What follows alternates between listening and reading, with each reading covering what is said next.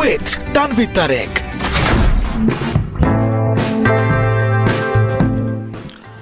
Hello সবাইকে স্বাগত জানাচ্ছি। সোমবার রাত দশটায় যথারীতি আমি চলে এসেছি এবং একজন গুণী অভিনেত্রীর সাথে। সুতরাং আড্ডাটা বেশ জমবে, টক মিষ্টি ঝাল এবং জানিয়ে রাখি যে মিঠাই মানে কিন্তু সেরা মিষ্টি সমাহার, যা আপনার আনন্দের মুহূর্তগুলোকে দারুণ স্পেশাল করে তুলতে পারবে এবং ফ্রেন্ডস অ্যান্ড ফ্যামিলির সাথে যে কোনো মুহূর্ত সেলিব্রেট করতে চলে আসতে পারে মিঠাইয়ের আউটলেটে স্বাদে ঐতিহ্যে মিঠাই। মিঠাই প্রেজেন্স রাত আড্ডা শুরু করার আগে আজকে যিনি আমার গেস্ট তার সাথে আসলে আমি খুব গোপন ভক্ত তার। কিন্তু উনি আমাকে সামহাও কোনোভাবে পরিচয় হয়নি, কথাবার্তা খুব কম হয়। আমার যে পত্রিকা কাজ করি সেখানে লেখা ছাপা হয়, কিন্তু সেখানেও কোনো ইন্টারাকশন হয় না।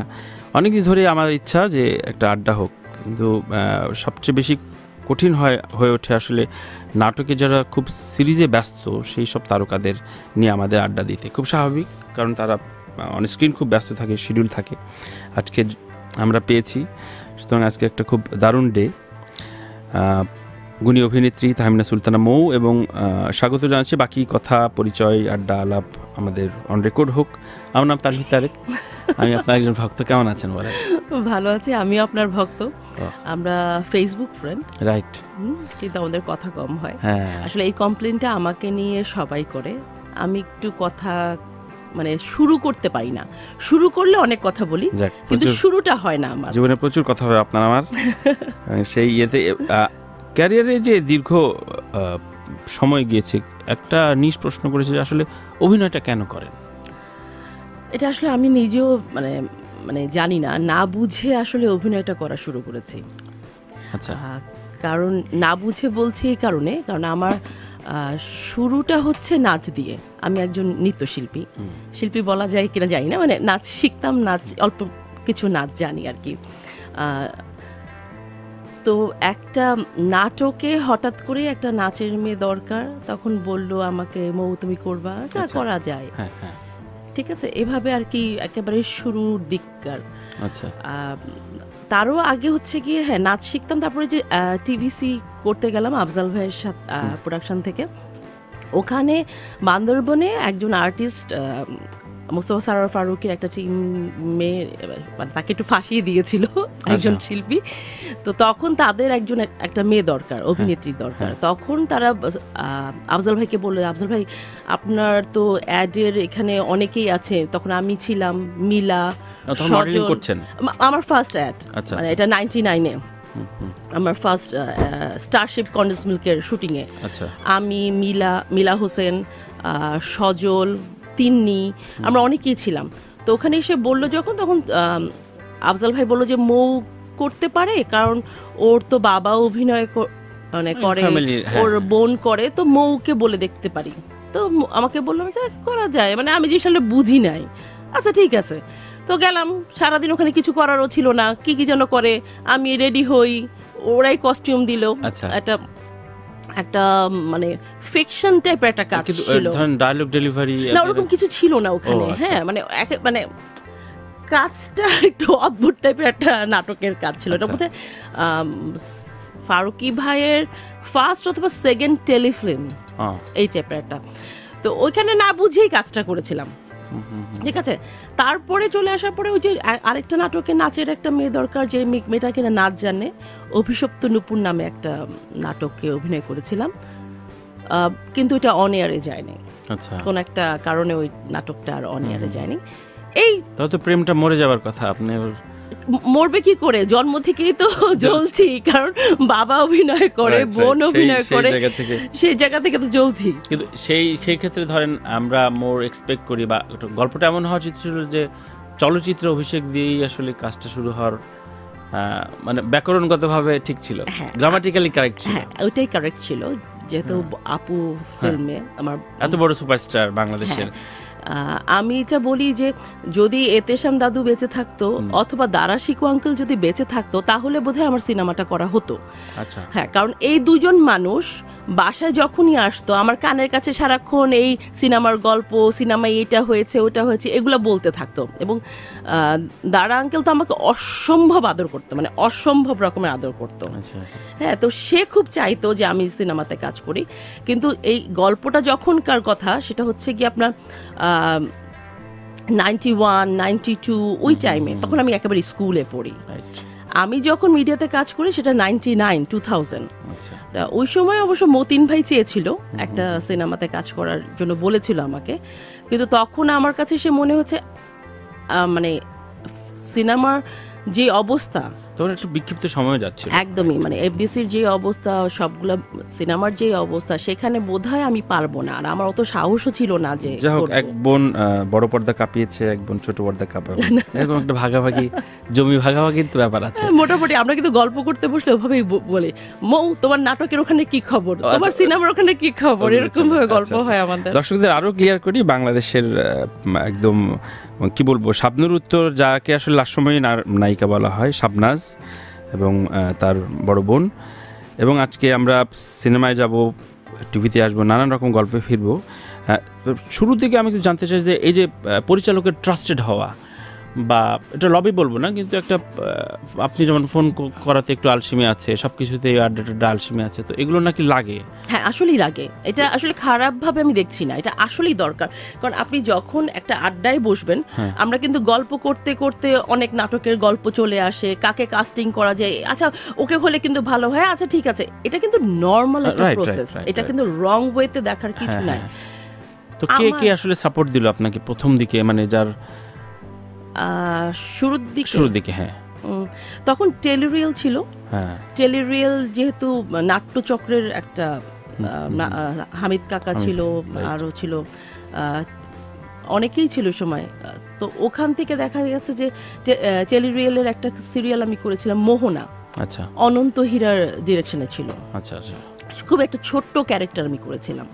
ঠিক আছে? এরকম স্টার্ট স্টার্টিংটা ওভাবে হয়েছে। একদমই ছোট ক্যারেক্টার থেকে তো একটা দুটো নাটক করার পর আপনি রাস্তায় বেরোনোর পর মনে হতো না যে আমাকে কজন চিনছে কে তাকাচ্ছে? না মানে আমারটা এই মানে আপনার তো বোন বোন বাবা থেকে দেখে আসা অভ্যাস। হ্যাঁ হ্যাঁ ওটা তো আছে। কিন্তু আমার ক্ষেত্রে যেটা হতো তখন তো আমি আরও শুকনা ছিলাম। আমার হাইটও ভালো। তো আম- যদি রাস্তা দিয়ে হেঁটে যেতাম অনেকে এসে দৌড় দিয়ে আমার সামনে আসতো। সামনে এসে আমাকে দেখে বলতো ও এটা তো ওই মৌনা। মানে ওই সময় সাদিয়া ইসলাম মোয়াপু এত ফেমাস ছিল right. নামের জন্য আমার সাথে মানে ঝামেলা হতো যে সবাই তো শুনতো যে মৌ আসছে। হ্যাঁ, এসে দৌড় দিয়ে এসে আমাকে দেখে আচ্ছা এটা তো মৌ না। হ্যাঁ, এরকম হতো আবার এমনও হয়েছে আমাকে দেখে দেখে কথা বলছে যে জাহিদ ভাই কেমন আছে? আচ্ছা। গল্প করছে আমিও গল্প করছি কি বলব? ভাঙাচ্ছেন না। ভাঙাচ্ছি না। এটা অনেক হতো। এরপর প্রথম ফেম ক্যারিটা আসলে আমি বলব যে এই অর্থে যে কাজটা খুব ভালো হয়েছে ইন্ডাস্ট্রির ভিতরে একটু অ্যাপ্রিসিয়েশন পাওয়া যাচ্ছে ওই কোন কাজটার কথা বলতে চান? Gulshan avenue Gulshan avenue famous একটা প্রোডাকশন এবং গুলশান অ্যাভিনিউতে আমি একটা নেগেটিভ ক্যারেক্টার অভিনয় করেছি এবং পুরা গাইড করেছে আমাকে তারেক নাম ভাই। আচ্ছা আচ্ছা। পুরা মানে অ্যাক্টিং কীভাবে করব সব কিছু ওইটা যখন আমার অন ইয়ারে গেছে তখন আমার দিকে মানুষ চোখ বড় বড় করে তাকিয়ে থাকতো। তখন আমি আচ্ছা। মানে বুঝতে পেরেছি যে ওই ক্যারেক্টারের সাথে রিলেট ক্যারেক্টার সাথে রিলেট করতেছে। এখনও অনেক মানুষই আমার নাটকের ক্যারেক্টার ধরে নাম ধরে আমাকে ডাকে। আমার নামটা ঠিক মতো জানে না। এটা ভালো তো। মানে অ্যাপ্রিসিয়েশন মানে এটা খুব ইতিবাচক।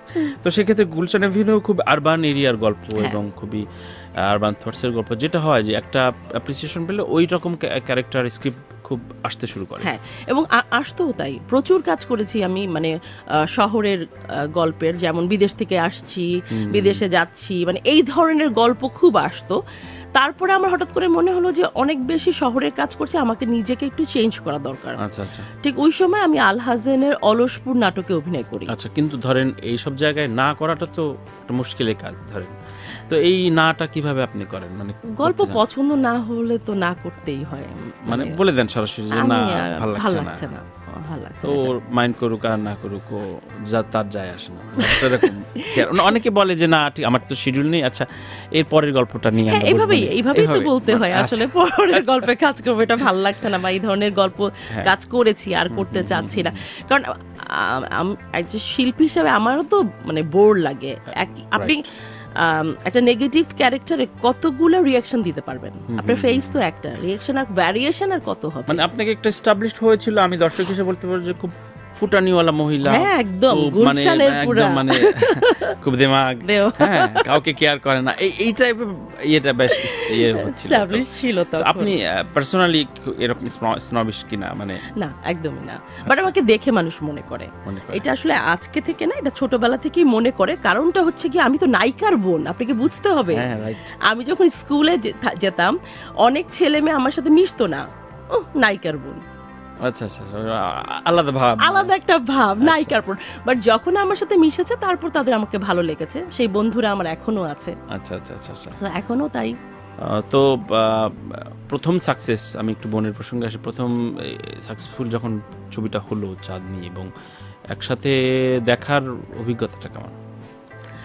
ওই সময় তো মানে সিনেমার অবস্থাটাই অন্যরকম ছিল। আমরা রাতে বেলা ছবিটা রিলিজ হওয়ার আগের দিন রাতে বেলা ঘুরে ঘুরে আমরা প্রত্যেকটা হলে যে আপুর ব্যানার দেখেছিলাম। আচ্ছা। হ্যাঁ মানে পোস্টার হ্যাঁ, ব্যানার দেখেছিলাম মানে ওইটার মজাটা অন্যরকম ছিল। আচ্ছা আচ্ছা। মানে আমাদের বাসার সামনে লাইন ধরে মানুষ দাঁড়িয়ে থাকতো আপুকে দেখার জন্য। বাসার ড্রয়িং রুমে এমনও হয়েছে স্কুলের বাচ্চারা এসে বসে থেকে ঘুমিয়ে গেছে। আপু আপু আসবে আপুকে দেখবে। আপুকে টাচ করে মানুষ দেখতো যে উনি কি মানুষ। মানে নাইনটিজে ওই জিনিসটা জিনিস চিন্তাই করা যায় না। সত্যি সত্যি সত্যি।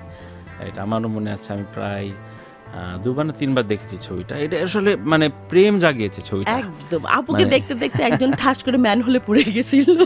এরকম হয়েছে। আচ্ছা। মানে সরি অনেক স্যাড একটা ঘটনা। কিন্তু মানে মুগ্ধ হয়ে আমার বোনের দিকে তাকিয়ে থাকতো মানুষ।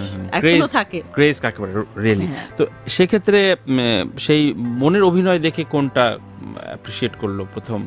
সেটাও কি গুলশান এভিনিউ মানে আপু হ্যাঁ? না আপু প্রথমে অ্যাপ্রিসিয়েট করেনি। আমার প্রথমের কাজ দেখে আপু খুবই বিরক্ত হয়েছে। বিরক্ত হয়ে বলেছে কি করো? অ্যাক্টিং পারো না কিছু নিলে কি করো? কোনটা থেকে বলছে? কোনো একটা কাজ মনে আচ্ছা। নাই। কোনো একটা ঈদের একটা কাজ গেছে। কি করো? অ্যাক্টিং পারো না? একেবারেই মানে সরাসরি মানে- সরাসরি আচ্ছা। কথা যে আসলে আসলে তখন পারতামও না কিছুই পারতাম না। তারপরে আস্তে আস্তে যখন আহ, কাজ দেখল তারপরে এখন যেমন অ্যাপ্রিসিয়েট করে। আচ্ছা আচ্ছা। বন্ধু হয় না ইন্ডাস্ট্রিতে এটা একটা প্রচলিত পাশাপাশি নাটক ইন্ডাস্ট্রিতে যেটা হয় যে কলিগদের ভেতরে এক ধরনের কথা হয় যে ঠিক আছে ওর সাথে ওর পেয়ারটা ভালো লাগবে বা এই চারজন হলে একটা প্রোডাকশন নামানো যায় যেটা হয়। তো সেই জায়গায় কে কে রেফার করেছে মোয়ের নাম বেশি ইন্ডাস্ট্রিতে কেউ না। কেউ না? না। মানে এটা তো খুবই মানে হিপোক্রেট এলাকা মানে না ওভাবে রেফার করে কি কেউ মানে কাজ হয় মানে স্ক্রিপ্ট হলো চার পাঁচটা ক্যারেক্টার তো বলেন না যে যে ঠিক আছে এখানে একে নিতে পারো যে ডিসকাশন ডিসকাশন যে হয় না কখনো। না। তো একেবারেই পরিচালকের থট থেকেই পরিচালক অথবা প্রোডাকশন হাউসের ইয়ে থেকে আচ্ছা।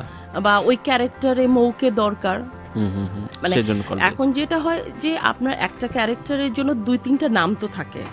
যার সাথে আপনার বাজেটে মিলবে যে আপনাকে সময় দিবে সব কিছু মিলিয়ে তো আপনাকে নিবে। এটা একটা ব্যাপার।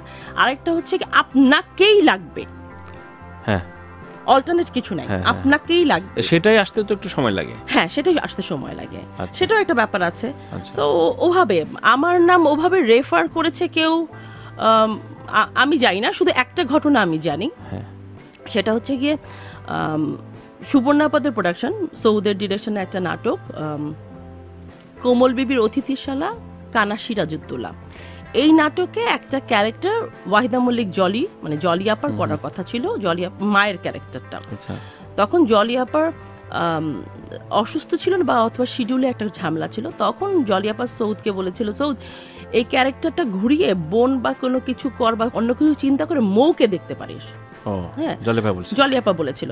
তখন সৌ হচ্ছে মৌ কারণ মৌ গুলশান অ্যাভিনিউ করে মানে হয় না? এই টাইপের ক্যারেক্টার এই এইটা একদমই একটা কমেডি টাইপের একটা ক্যারেক্টার এটা কি মৌ পারবে? তারপরে তারা বলল যে ঠিক আছে মৌকে নিয়ে আচ্ছা আচ্ছা আচ্ছা। তো ওই ক্যারেক্টারের জন্য আমাকে বলা হয়েছে আমি একে এক কথায় লুফে নিছি ক্যারেক্টারটা আচ্ছা আচ্ছা। কারণ আমার তখন প্রুফ করা দরকার ছিল যে হ্যাঁ আমি গুলশান অ্যাভিনিউর বাইরে ওই ধরনের ক্যারেক্টারের বাইরেও আমি অন্য কিছু করতে পারি। রাইট সিরিজ কাজ করার একটা ডিসঅ্যাডভান্টেজ অনেকে বলেন। আমি তো আর অভিনয় বুঝি না কিন্তু যে কথা শুনি সেটা হচ্ছে একটা সিরিজ যখন ফ্লপ করে যায় বা একটু ডাউন হয়ে যায় তখন আসলে এটা তো একটা বড় লম্বা গাড়ি রেলগাড়ির মতো। সুতরাং ওটা থেকে রিকভার করাটা মুশকিল হয়ে যায়। কিন্তু আপনি তো ইনভলভ হয়ে গেছেন। হুম। তো সেই জায়গা থেকে রিস্কি মনে হয়নি। আপনি তো হ্যাঁ। মানে বলা হয় যে আপনি ধারাবাহিক তারকা হ্যাঁ। মানে ধারাবাহিকের কুইন তো সেই জায়গা থেকে বল এই আপনি বারবার যে সিরিজে আস্থা রাখছেন এই এই ইনফিনিটি কমপ্লেক্সে ভোগেন কিনা বা ভুগেছেন কিনা? হ্যাঁ অবশ্যই ভুগি। কারণ আগে যেটা হতো আগে তো একটা পুরো স্ক্রিপ্টটা থাকতো। আমি আমার ক্যারেক্টারটা জানতাম যে এই ক্যারেক্টারটা কোন পর্যন্ত যাবে। হ্যাঁ। এখন সেটা আমরা জানতে পারি না। কেউই বলে না। মানে কেউই ডিরেক্টরই তো জানে না। রেকর্ড হচ্ছে রাইট খুব বাস্তবতা খুবই থ্যাংক তো ইউ জানে না সরি টু সে কারণ হচ্ছে কি রাইটারকে সে হয়তো ব্রিফ করল রাইটার তার মতো লিখলো। কখনো রাইটার হারিয়ে যায় সে যে কি লিখে আমি জানি না। মানে আমি এমনও অনেকবার হয়েছে সেটা আমি স্ক্রিপ্টটা দেখে বললাম যে এটা তো হবে না। এই এইখানে গল্প সে ভুলে গেছে। গল্প এটা ছিল না সে ভুল আপনি আবার কারেকশন করে আমি আমি মনে করে দিই। আমি না এরকম অনেকেই করাই করে যে এটা ভুল বলছে সে এটা হবে না এটা হতে পারে না। কারণ রাইটার তো অনেকগুলো গল্প লিখছে সে কাকে কোথায় নিয়ে গেছে তার মাঝে মাঝে মনেও থাকে না। তো সিরিয়ালে এই যে একটা সমস্যা আর এখন আমরা জানতে পারি না আসলে আমাদের শেষটা কোথায়। আচ্ছা আচ্ছা। তারপরে সিরিয়ালে কেন আপনি করেন আর কি? করতে চাই না। ওই যে থাকে না না যে বলতে পারেন না। হ্যাঁ কিছু মানুষকে না বলতে পারি না করে ফেলে তারপর মনে হলে কেন করলাম। এখন চেষ্টা করছি না করতে। আচ্ছা আচ্ছা। এখন অনেকেই বলছেন সিরিয়ালের ব্যাপারে। একটা বিষয় আসে যে প্রথম দিকে নাকি একটা ফিক্স ডিপোজিটের মতো রাখতে হয় ইন্ডাস্ট্রিতে যে আপনার পাঁচ ছয়টা প্রোডাকশনের টাকা মেরে দেবে কেউ। হ্যাঁ হ্যাঁ পয়সা একদম পাবে না। একদম। আপনার ক্ষেত্রে তাই? একদম। সব একই গল্প? সবাইকে গো- সেটা যে প্রথম দিকে থাকবে তা না পরের দিকে হয়। আচ্ছা পরের দিকে পরের দিকে হয়। এখন একটু কমে গেছে। আচ্ছা আচ্ছা আচ্ছা। এখন একটু কমেছে এর পরের দিকে হয়। মানে অথবা বন্ধু মানুষ আচ্ছা দিবনে মৌ। পরে তারপর নাই। বন্ধু ঠিক আছে বন্ধু হ্যাঁ, দাবি রাখতে দাবি রাখতে পারে এরকমও হয়। ধরেন বলবেন না এরকম আচ্ছা একটু লাজুক তো সুতরাং এর টাকাটা মেরে দেওয়া যাবে। হ্যাঁ হ্যাঁ হ্যাঁ। এরকম হয়ে গেছে। হ্যাঁ তো ইন্ডাস্ট্রিতে আসলে উঠতে হলে এরকম পীড়া সবাই কি নিতে হয় নিতে হয়। তবে এখন এখন আর ওইটা নেই। এখনকার ছেলেমেয়েরা অনেক স্মার্ট হ্যাঁ। তারা এটা করে না। আবার অনেক বড় বড় ডিরেক্টররা মনে করে তোমাকে ডেকেছি। এতেই তুমি ধন্য থাকো। তোমাকে আবার পেমেন্ট দিব কিসের? রাইট তাই না? একদমই এখন ধরেন এই যে বিশ বছরের একটা জার্নি শুরুর দিকে পাঁচ ছটা প্রোডাকশনে কাজ করলে বোঝা যেত যে এটা দর্শক নিচ্ছে রেসপন্সও পাচ্ছেন। এখন তো ফাস্ট মিডিয়া এখন যে গল্পের প্রতি কি আপনাদের একটা নজর একটু বেশি থাকে কিনা? যে এটা আসলে কতটুকু নিবে রেসপন্স কতটুকু আসবে? কারণ দিন শেষে তো আপনি একটা ফেমটা প্লাস করতে চান বা এটার প্রতি যাতে আগ্রহী হয়ে বলে ফেসবুকে দুটা চাইল্ড লাইন লেখে। তো এই কনসাসনেসটা কি এখন বেড়েছে কিনা হ্যাঁ এখন বেড়েছে। গল্পটা সবাই জানতে চায় কিন্তু আমি জানি না। এখন এক ঘণ্টা নাটক আহ, যে গল্পগুলো হচ্ছে অনেক সিলি সিলি সাবজেক্ট নিয়ে গল্প হয়। হ্যাঁ। আমি ওগুলোর কোনো এন্ড পাই না কিন্তু ওগুলোর ভিউজ অনেক বেশি। হ্যাঁ মানে ধরেন এই যে গার্লফ্রেন্ড সিরিজ তো আছে মনে হয় এক থেকে দেড় হাজার। হ্যাঁ বউ নিয়ে আছে সেদিন দেখলাম হাজার বোধহয় নাটক। টাউট বয়ফ্রেন্ড হ্যাঁ। একটা নাটকের নাম। মানে আমি এগুলো বুঝি না। তো এই স্ক্রিপ্টগুলো আপনি কাজ করেন মানে রাজি হন? না। আমার আমি রাজি হই না কারণ এখন আমার যে বয়স এখন আমি যেই চরিত্রগুলোতে অভিনয় করছি দেখা যায় আমাকে ফোন করে বলে আপু ডেট আছে? আচ্ছা আছে। আপু চরিত্রটা হচ্ছে ভাবি। আমার কথা হচ্ছে ভাবি মানে কি? হুম হুম হুম। ভাবির তো একটা নাম থাকবে। right, হ্যাঁ। ভাবিরও তো একটা গল্প থাকবে। কোনো কিছু না আমি খাম্বার মতো এক জায়গায় দাঁড়ায় থাকব একটা ভাবি। আমি আসলে এই ধরনের চরিত্র অভিনয় করতে চাই না। একদম আপনি সেটা বললি আপনি বলে দেন হ্যাঁ হ্যাঁ না আমি সোজা কথা বলি আমাকে এটাতে নিচ্ছ কেন? একে তো আমাকে তোমার পেমেন্ট দিতে হচ্ছে এতগুলো টাকা তার উপর আমাকে দাঁড় করে রাখবা তোমার লাভটা কি? আমি বিরক্ত হব তার চেয়ে আমাকে না নেওয়াই ভালো। এটা আমি মনে করি। খুবই দারুণ লজিক আমি আর এক দুটো প্রশ্ন রেখে প্রথম বিরতিতে যাব। তার আগে বলে রাখি যে এই যে ইন্ডাস্ট্রিতে অনেক কয়েক প্রজন্মের নির্মাতার সাথে আপনার কাজ কাজ হলো। বলা হয় যে এখনকার নির্মাতারা ওভার কনসাস এবং ওভার বললে এটা নেগেটিভ হবে। খুব কনসাসলি প্রত্যেকটা ক্যারেক্টার ডিফাইন করে। কিন্তু এই যুগে তো আমি লাস্ট এক বছর ধরে প্রত্যেকের কাজ শুনছি ভাই আমি এক ঘণ্টা নাটক ছেড়ে দিয়েছি। ধারাবাহিকও ছেড়ে দিয়েছি এখন বেছে বেছে ওটিটির কাজ করি। এই বিষয়টা আসলো কেন? মানে ওটিটির কাজে যেটা হয় কি বাজেট বেশি। বাজেট থাকলে আপনি অনেক কিছু করতে পারেন আপনার সময় আছে। বাজেটটা ভালো।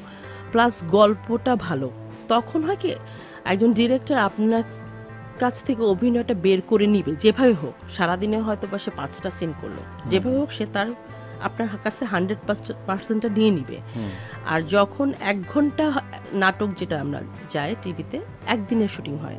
সে কি করবে আপনার কাছে? কি নিবে? আপনিই বা কি দিবেন? আর সিরিয়ালের কথা তো বাদই দিলাম। সিরিয়ালে একদিনে পঁচিশটা সিন নামাতে হবে। অ্যাটলিস্ট তো বিশটা নামাতেই হবে। তো সান চলে যাচ্ছে দৌড়াইতে থাকো। আচ্ছা এটা বলছো? ঠিক আছে ঠিক আছে। করে দিই। দরকার নাই? আচ্ছা আচ্ছা।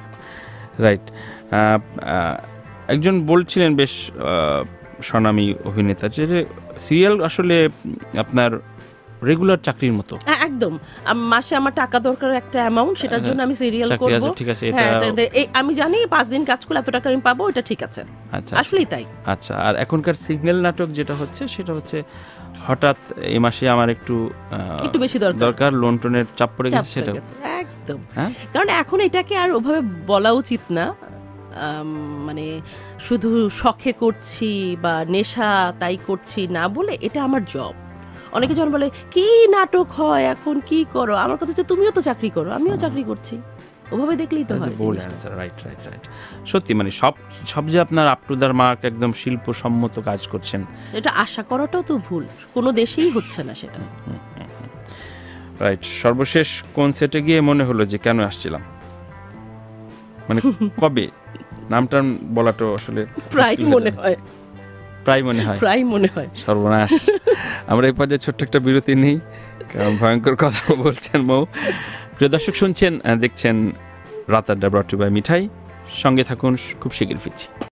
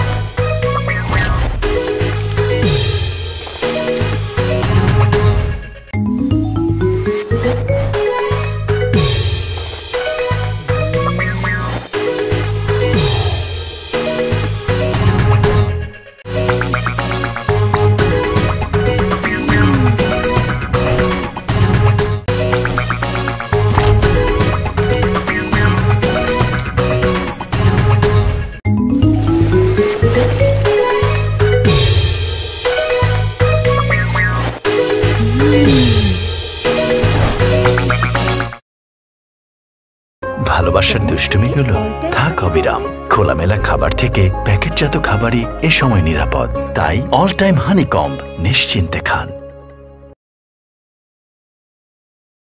ভালোবাসার দুষ্টুমি দুষ্টুমিগুলো? থাক অবিরাম। খোলামেলা খাবার থেকে প্যাকেটজাত খাবারই এ সময় নিরাপদ। তাই অল টাইম হানিকম্ব নিশ্চিন্তে খান।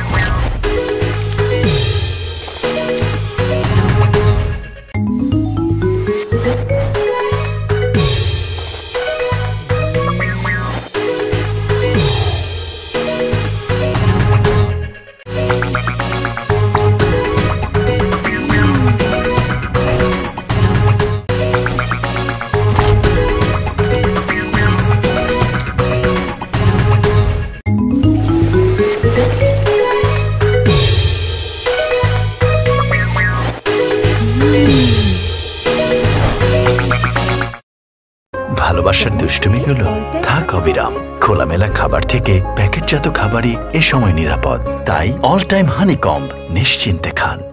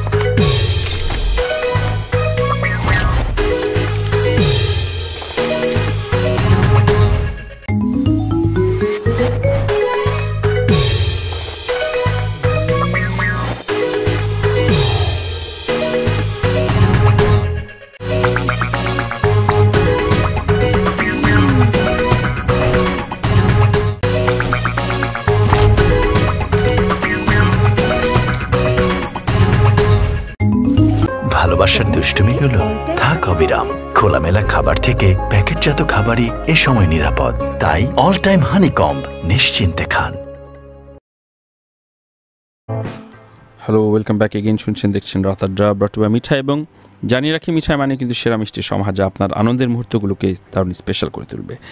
ফ্রেন্ডস অ্যান্ড ফ্যামিলির সাথে আনন্দ ভাগাভাগি করতে চলে আসুন মিঠাইয়ের আউটলেটে স্বাদে, ঐতিহ্যে মিঠাই। আমরা টকঝাল মিষ্টি কথা শুনছি এবং মৌ খুব অকপটে সত্যগুলো বলে দিচ্ছেন বলে আরাম লাগছে। আড্ডা দিতে। আমি চাই এরকম থাকুক আড্ডাটা। মৌ এখন আসলে ক্রাইসিসটা আমরা সবসময় বলি যে আসলে গল্পে একটা বড় ক্রাইসিস এবং পেশাদারের জায়গায় ক্রাইসিস তো তারপরও প্রচুর আসলে আমরা অভিনয় অভিনয় শিল্পীরা পাই। মানে ফেসবুক খুললেই সবাই অলমোস্ট অর্ধেক অভিনয় করছেন।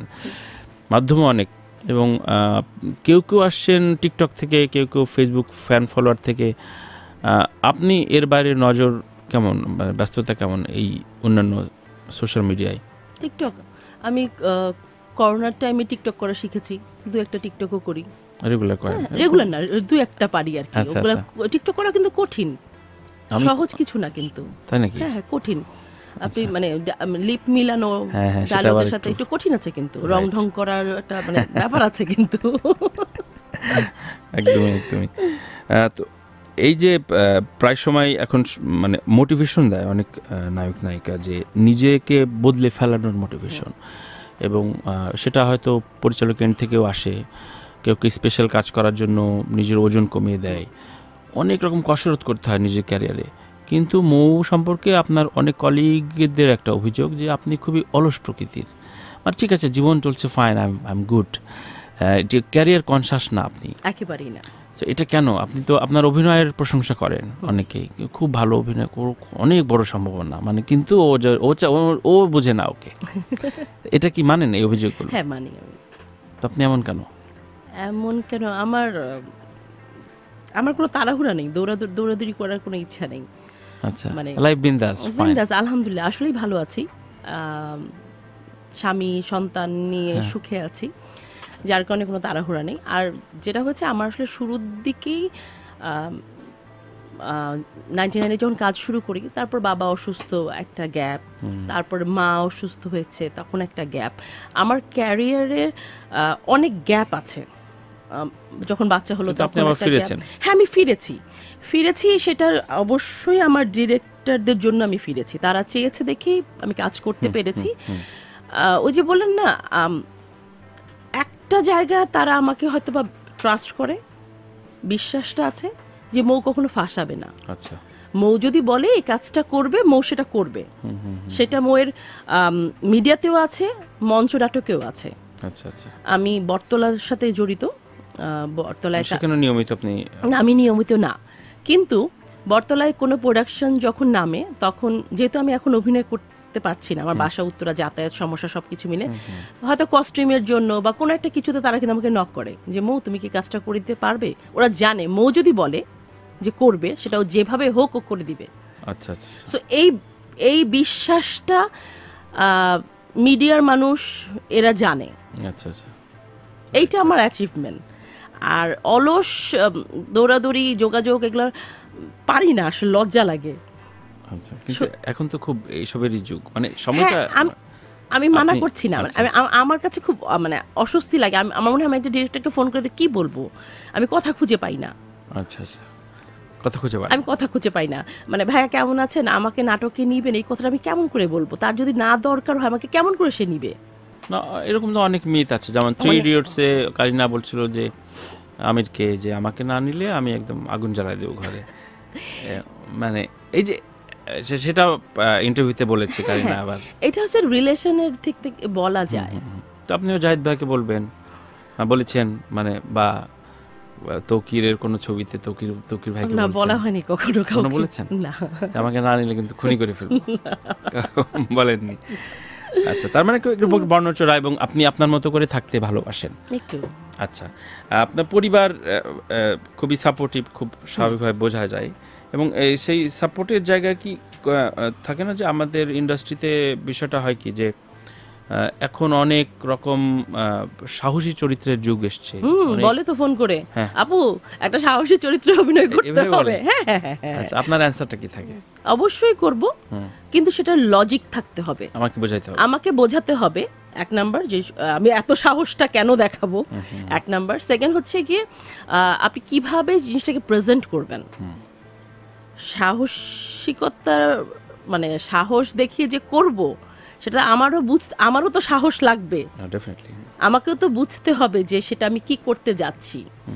কারণ লাইনটা কিন্তু খুবই সূক্ষ্ম একটা লাইন। একটু উনিশ বিশ হলে কিন্তু আমি অশ্লীলে পড়ে যাব। হ্যাঁ। যদি ওই ওইটাতেই পড়তে চাইতাম তাহলে কিন্তু নাইনটি এইট বা নাইনটি সেভেনে বাংলা সিনেমাতেই কাজ করতাম। ওই সাহসটা ছিল না দেখে তখন কাজ করতে পারিনি।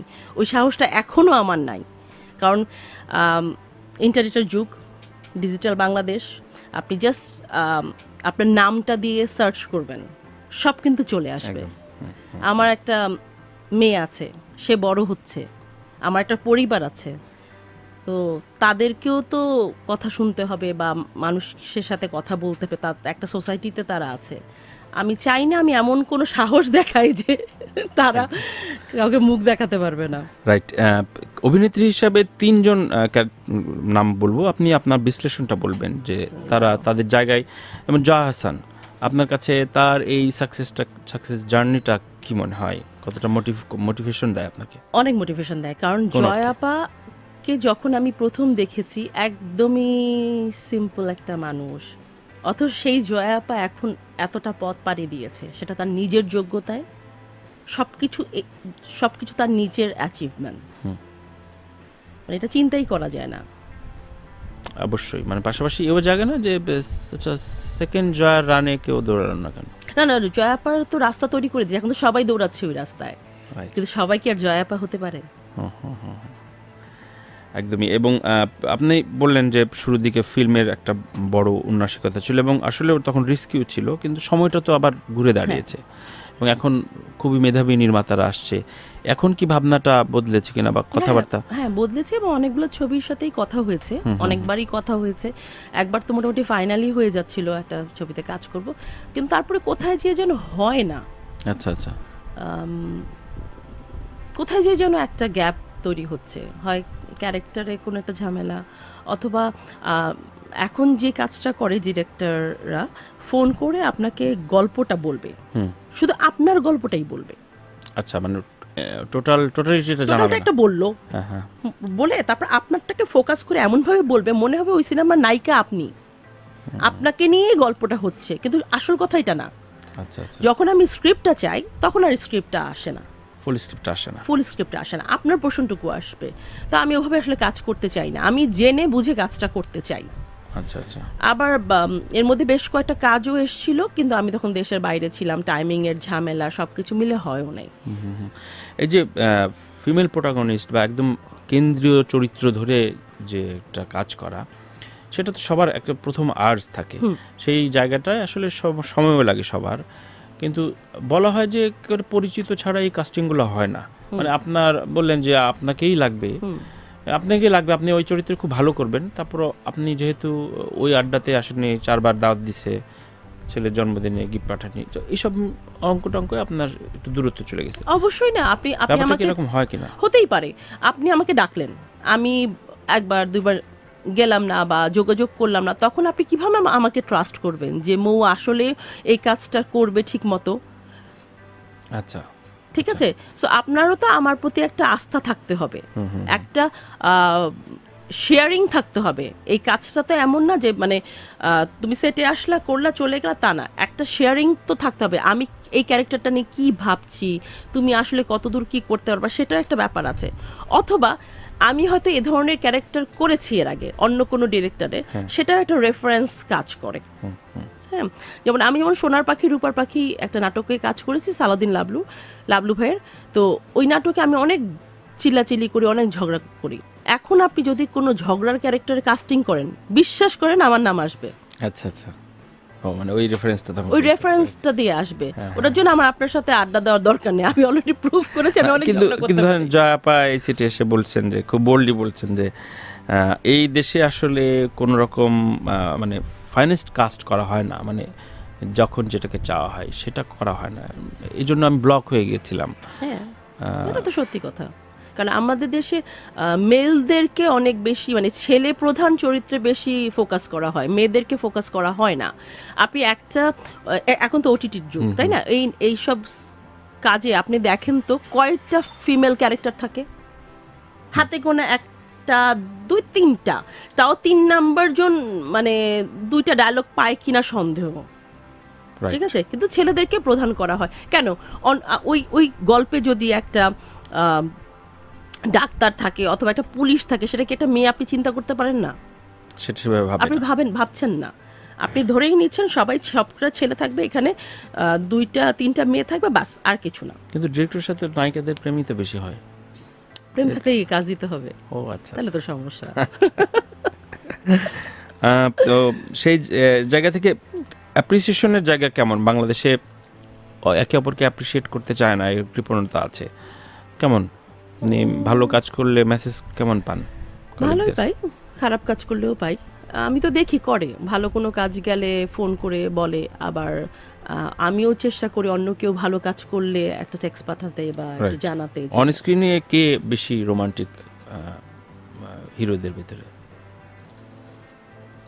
আমি যাদের সাথে কাজ করছি নাকি? আপনি যাদের সাথে বা যাদের সাথে আমার তো জিতু ভাই। জিতু ভাইকে অনেক রোমান্টিক লাগে। ও জিতু আমার খুব ফেভারিট একটা রাইট জিতুর সাথে কেমন কাজ করা হয়েছে? হ্যাঁ কাজ করা হচ্ছে।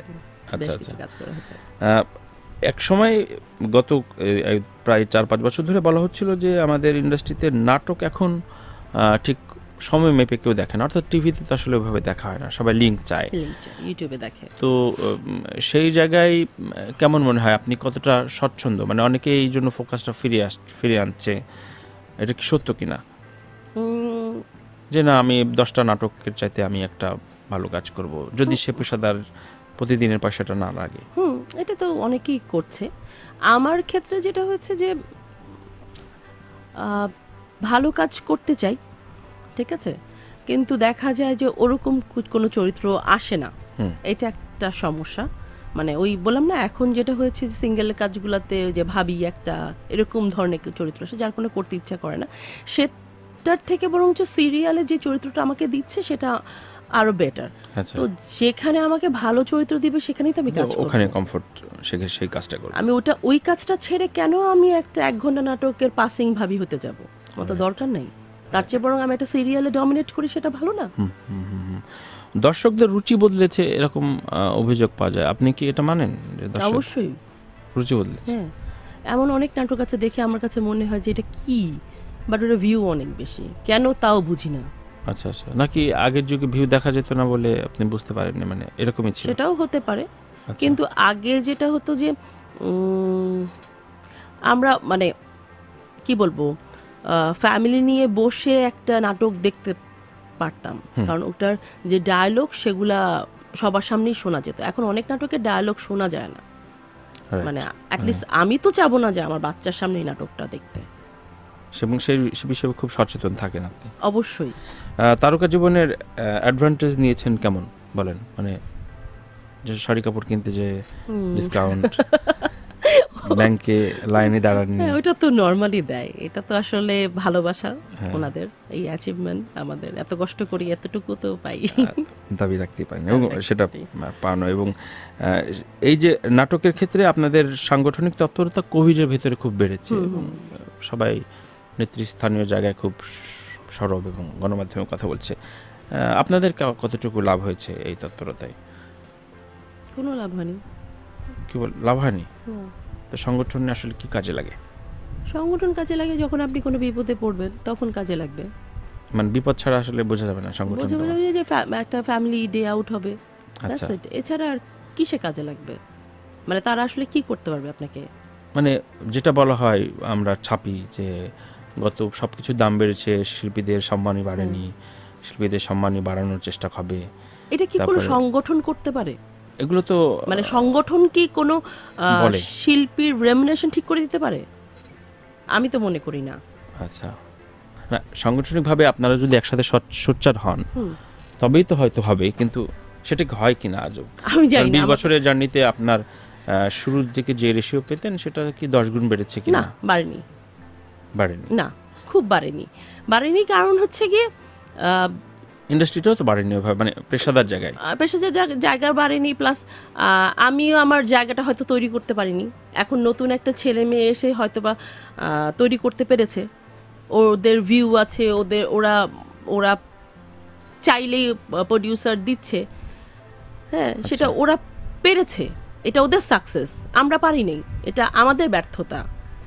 আমরা ওই যে কম পেতে পেতে অভ্যাস হয়ে গেছে। ফট করে একটা অ্যামাউন্ট বলতেও লজ্জা লাগে যে আদৌ কি দিবে? কারণ যেহেতু আমি জানি যার বাজেট নাই এত কিছু জেনে তখন মনে হয় আসলে আমরা বলতে পারি না। কিন্তু ধরেন আপনার অর্ধেক বয়সী ক্যারিয়ারে যে যে পরিমাণ শো অফ দেখি কারও কারও সবার না কারও কারও তখন তো মনে হয় যে ইন্ডাস্ট্রি তো বোধহয় কোটি কোটি টাকা আমারও তাই মনে হয়। আমিও অনেকের রেমুনেশন শুনি অনেক টাকা। আমি চিন্তা করি আসলে এত টাকা পায়? আমি তো পাই না আমি জানি না। আচ্ছা আর এমনিতে যেমন একজন অভিনেত্রী বলছিলেন যে ইন্ডাস্ট্রিতে একজন সুগার ড্যাডি বা গডফাদার না হোক একজন শুভাকাঙ্ক্ষী খুব প্রয়োজন যে আসলে আপনাকে গাইড করবে। হ্যাঁ এক- একজন নতুন কেউ যখন আসে তখন তো সে জানে না যে কে কি কাজ করছে বা কার সাথে যোগাযোগ করবে? যেমন লাক্সের যে প্ল্যাটফর্মটা এটা কিন্তু অনেক প্লাস পয়েন্ট আপনি জাস্ট চিন্তা করেন আপনি এসেই একদম আপনার উপরে স্পটলাইটটা পড়ছে তাই না?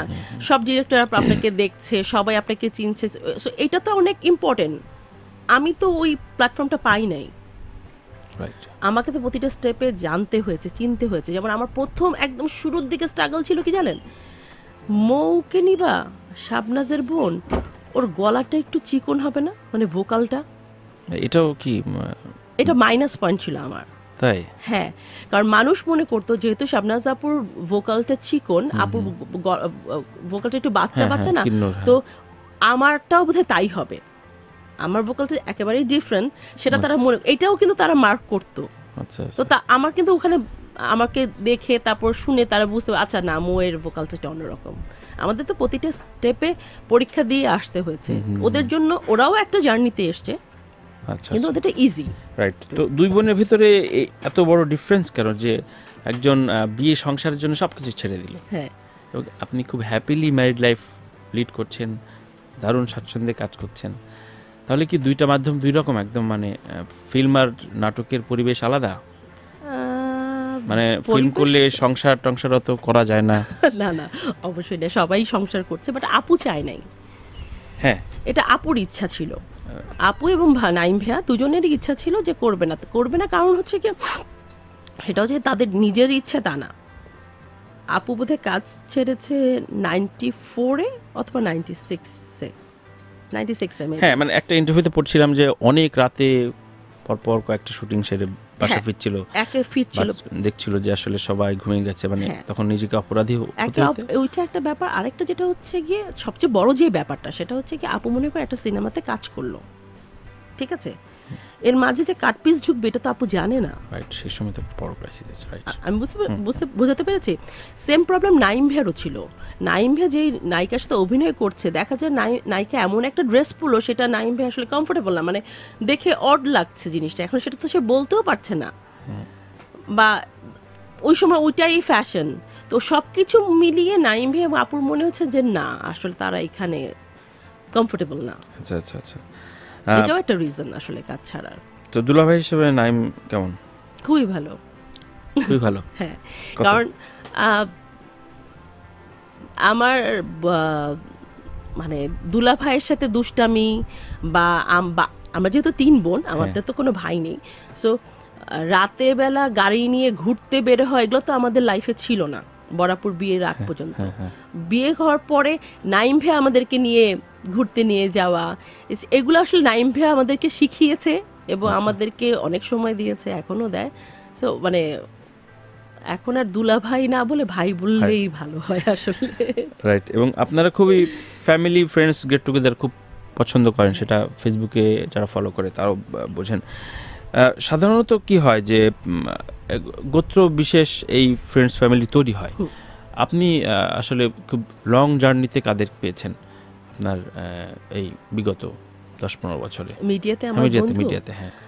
আমি তো অনেককেই পেয়েছি কিন্তু এখন যারা আমার কাছের একেবারেই কাছের বন্ধু তার মধ্যে হচ্ছে জলিয়াপা ওয়াহিদা মল্লিক জলি সুবর্ণা মোস্তফা সৌদ দীপা খন্দকার চুমকি আপু এরা একেবারেই মানে ফ্যামিলি আচ্ছা আচ্ছা আচ্ছা। মানে যে কোনো উৎসব আসরে আড্ডায়। হ্যাঁ একেবারেই ফ্যামিলি এছাড়াও যদি বলি নাজিন চুমকি উনিও ফ্যামিলি মানে হয়তো চুমকি আমার সাথে একটু মানে একটু কম দেখা হয়। আচ্ছা আচ্ছা। নাদিয়া আমি জানি না মিডিয়াতে সবাই বলে কারও বন্ধু হয় না আমার তো মিডিয়াতেই বন্ধু। আচ্ছা আচ্ছা। কিন্তু যেটা বলে যে আমি যখন নতুনদের নিয়ে বলি বা ফারিনদের যখন বলি যে তোমরা তো মিশো না একজন। তো আমি আপনাদের উদাহরণ দিই। তখন বলে যে ভাই আমাদের ওই বয়স আসলে আমরাও একসাথে মাসে হ্যাঁ এটা সত্যি কথা। আপনারাও ব্যস্ত থাকাকালীন বন্ধুত্ব হয়নি? না বন্ধুত্ব হবে কি করে? তখন দীপাপু যখন মিডিয়াতে আমিও ওই সময় হয়তো একটু এক দুই বছর আগ পিছ হবে আমাদের। একই নাটকে অভিনয় করছি কিন্তু দেখাইতে হতো না। রাইট দেখাইতে হতো না। একই নাটকে চুমকি আপু আছে আমি আছি জানতামও না। এরকম হচ্ছে দেখা হয়নি। বাট পরে যখন একটা আসলে এইটার না পুরো ক্রেডিটটা আমি দিব গুলশান অ্যাভিনিউকে নিমা আপা এবং তারেক ভাইকে যেহেতু একটা ডেইলি সোপে আমরা কাজ করতাম। তখন আপনার সবাই হ্যাঁ সবাই কাজ করতাম মানে ওখানে কাজ করতাম আমি আর দীপাপু আপনার মাসে অ্যাটলিস্ট আপনার পাঁচ দিন দেখা হবে তখন তো একটা বন্ডিংস তৈরি হবে। তারপর আমি একটা নাটকে করেছিলাম শান্ত কুটির। ওই নাটকে জলিয়াপার সাথে আমার ফ্রেন্ডশিপ হয়েছে। আচ্ছা আচ্ছা আর সুবর্ণাপা তো ফ্যামিলি ফ্রেন্ড মানে এভাবে এক একজনের সাথে আমাদের বন্ধুত্ব হয়েছে। খুবই কমন প্রশ্ন। তারপর একটু জানতে চাই যে, এই যে অবসরে নেওয়া অবসর যাওয়া বা সেটা ম্যাক্সিমাম ক্ষেত্রে হয় কি বিয়ের পর যে আমি সব কিছু ছেড়ে দিলাম আমি যা করেছি, কেউ কেউ বলে যে ভুল করেছি। তো ভুল করে কিন্তু ওই আগের জীবনের কেনা গাড়িটা ফেলে দেয় না। ফ্ল্যাটটাও ছেড়ে দেয় না কিন্তু বলে ভুল করে ভুল করেছি। তো এই ধরনের লজিককে আপনি কতটা সমর্থন করেন? আপনিও তো বিয়ে শাদি করে বাচ্চা কাচ্চা নিয়ে সুন্দর কাজ করছেন। তার মানে মিডিয়া মানে স্বচ্ছন্দে থাকলে পারা যায়। আপনি আপনার মোটিভেশনটা কি? কি ভুল করেছি কেমন করে বলব? আমার তাহলে তো আমার বাবা ভুল করেছে আমার বোন ভুল করেছে দুলাভাই ভুল করেছে পুরো একটা ভুলের ফ্যামিলি হয়ে যায় না? আমরা সেই ভয়ে বলতে চান না না না আমরা কেউই ভুল করিনি। আচ্ছা। আমার বাবা তার শেষ দিন পর্যন্ত অভিনয় করেছে। ঠিক আছে? আমার বোন অভিনয় এখন করছে না কিন্তু সে সে যে শাবনাজ এই যে এক মানুষ তাকে ভালোবাসে এটা কীভাবে হয়েছে? বিশাল রেফারেন্স আছে অনেক হ্যাঁ হ্যাঁ তাই না? হ্যাঁ হ্যাঁ। তা আমি মনে করি না আমি ভুল করেছি। আচ্ছা। এবং আমি চেষ্টা করেছি ব্যালেন্স করে কাজটা করতে। যেমন এখন আমার জন্য আউটডোরে কাজ করাটা একটু ডিফিকাল্ট কারণ আমার মেয়ে আট আট বছর ওর স্কুল থাকে সব কিছু তো আমি ওভাবেই কাজটা নেই যে কাজটা আমি করতে পারব। যেটা পারব না সেটা আমি নেই না। আচ্ছা। আমার এখানে কাজ ছেড়ে দেওয়ারও কিছু নেই। আর হাস্যকর কথা কিছু আছে যে কাম ব্যাক করলাম কাম ব্যাক করারও কিছু নেই। ছ মাস পর পরেই কাম ব্যাক হ্যাঁ সবাই ছয় মাস পর কাম করারও কিছু নেই। আচ্ছা। আপনার জায়গাটা আপনার আপনি চলে যাবেন ওই জায়গাটা নাই হয়ে যাবে। ওই জায়গাটা কখনোই থাকবে না। আচ্ছা আচ্ছা। আর মিডিয়াতে যেটা এখন অনেকের প্রবণতা আসছে যে একটু কন্ট্রোভার্সি বা যে কোনোভাবে একটু ফোকাস ভাইরাল হতে হবে। ভাইরাল হওয়া মানে একটা মানে সিকনেসটা বা আর্টসটা যে চাওয়া যে এই সপ্তাহে বা প্রায় তিন মাস আমি আলোচনায় নাই সুতরাং একটা কিছু আমার মানে করতে হবে। প্রায় সময় আমরা দেখি হঠাৎ করে বিশ পঁচিশটা ফটোশ্যুট ফটোশ্যুট করা কোনো অন্যায় না। বা কোনো কন্ট্রোভার্সিতে কমেন্ট করা। তো এগুলো চর্চা কেমন করেছেন? আপনাকে তো পাই না এই ধরনের কাজ আমার গ্রাফিক্সটা একদমই স্ট্রেট নাইনটি নাইন থেকে টোয়েন্টি থ্রি হ্যাঁ। একদম সোজা। উঠেও না নামেও না খুবই বোরিং না কিন্তু মিডিয়ার প্রতি তখন বিরক্ত লাগে না বা দুই চারটা মনে মনে গালি দেন না যে এগুলোর পেছনে তোরা ছোট ছোট কেন? হ্যাঁ হ্যাঁ কেন দিব না গালি? গসিপ কেন করব না? সবই করি। আচ্ছা। কিন্তু সেটা কার সাথে করছি? সেটা হচ্ছে কথা। আচ্ছা। আমি সে পাবলিক প্লেসে যে আমার কলিগকে গালি দিতে পারি না কারণ আমার কলিগকে যখন আমি পাবলিক প্লেসে গালি দিব সেই গালিটা কিন্তু আমি খাচ্ছি। রাইট রাইট এটা আমি মনে করি। তাহলে দোষটা কার? মানে তারকার নাকি গণমাধ্যমের? গণমাধ্যমের। গণমাধ্যম তো ফালতু টাইপের নিউজ করে। কারণ নিউজ নাই কি করবে? সবাই নিজের নিউজ নিজেই করছে ফেসবুকে তো সে কি করবে? ওই স্ট্যাটাস ধরে একটা নিউজ করে দেয়। তো গণমাধ্যমের উচিত আসলে কি করবে সে সেটা জেনে করা। খুবই গুরুত্বপূর্ণ কথা। ছোট্ট একটা বিরতি নিচ্ছি এবং বিরতির পর বেশ কিছু প্রশ্ন রয়েছে যেগুলো আসলে আমজনতার এবং ইনবক্সের আউটবক্সের সেগুলো একটু নেব। কথা বলছেন অভিনেত্রী মৌ। সঙ্গে থাকুন। ভালোবাসার দুষ্টুমি দুষ্টুমিগুলো থাক অবিরাম। খোলামেলা খাবার থেকে প্যাকেটজাত খাবারই এ সময় নিরাপদ। তাই অল টাইম হানিকম্ব নিশ্চিন্তে খান।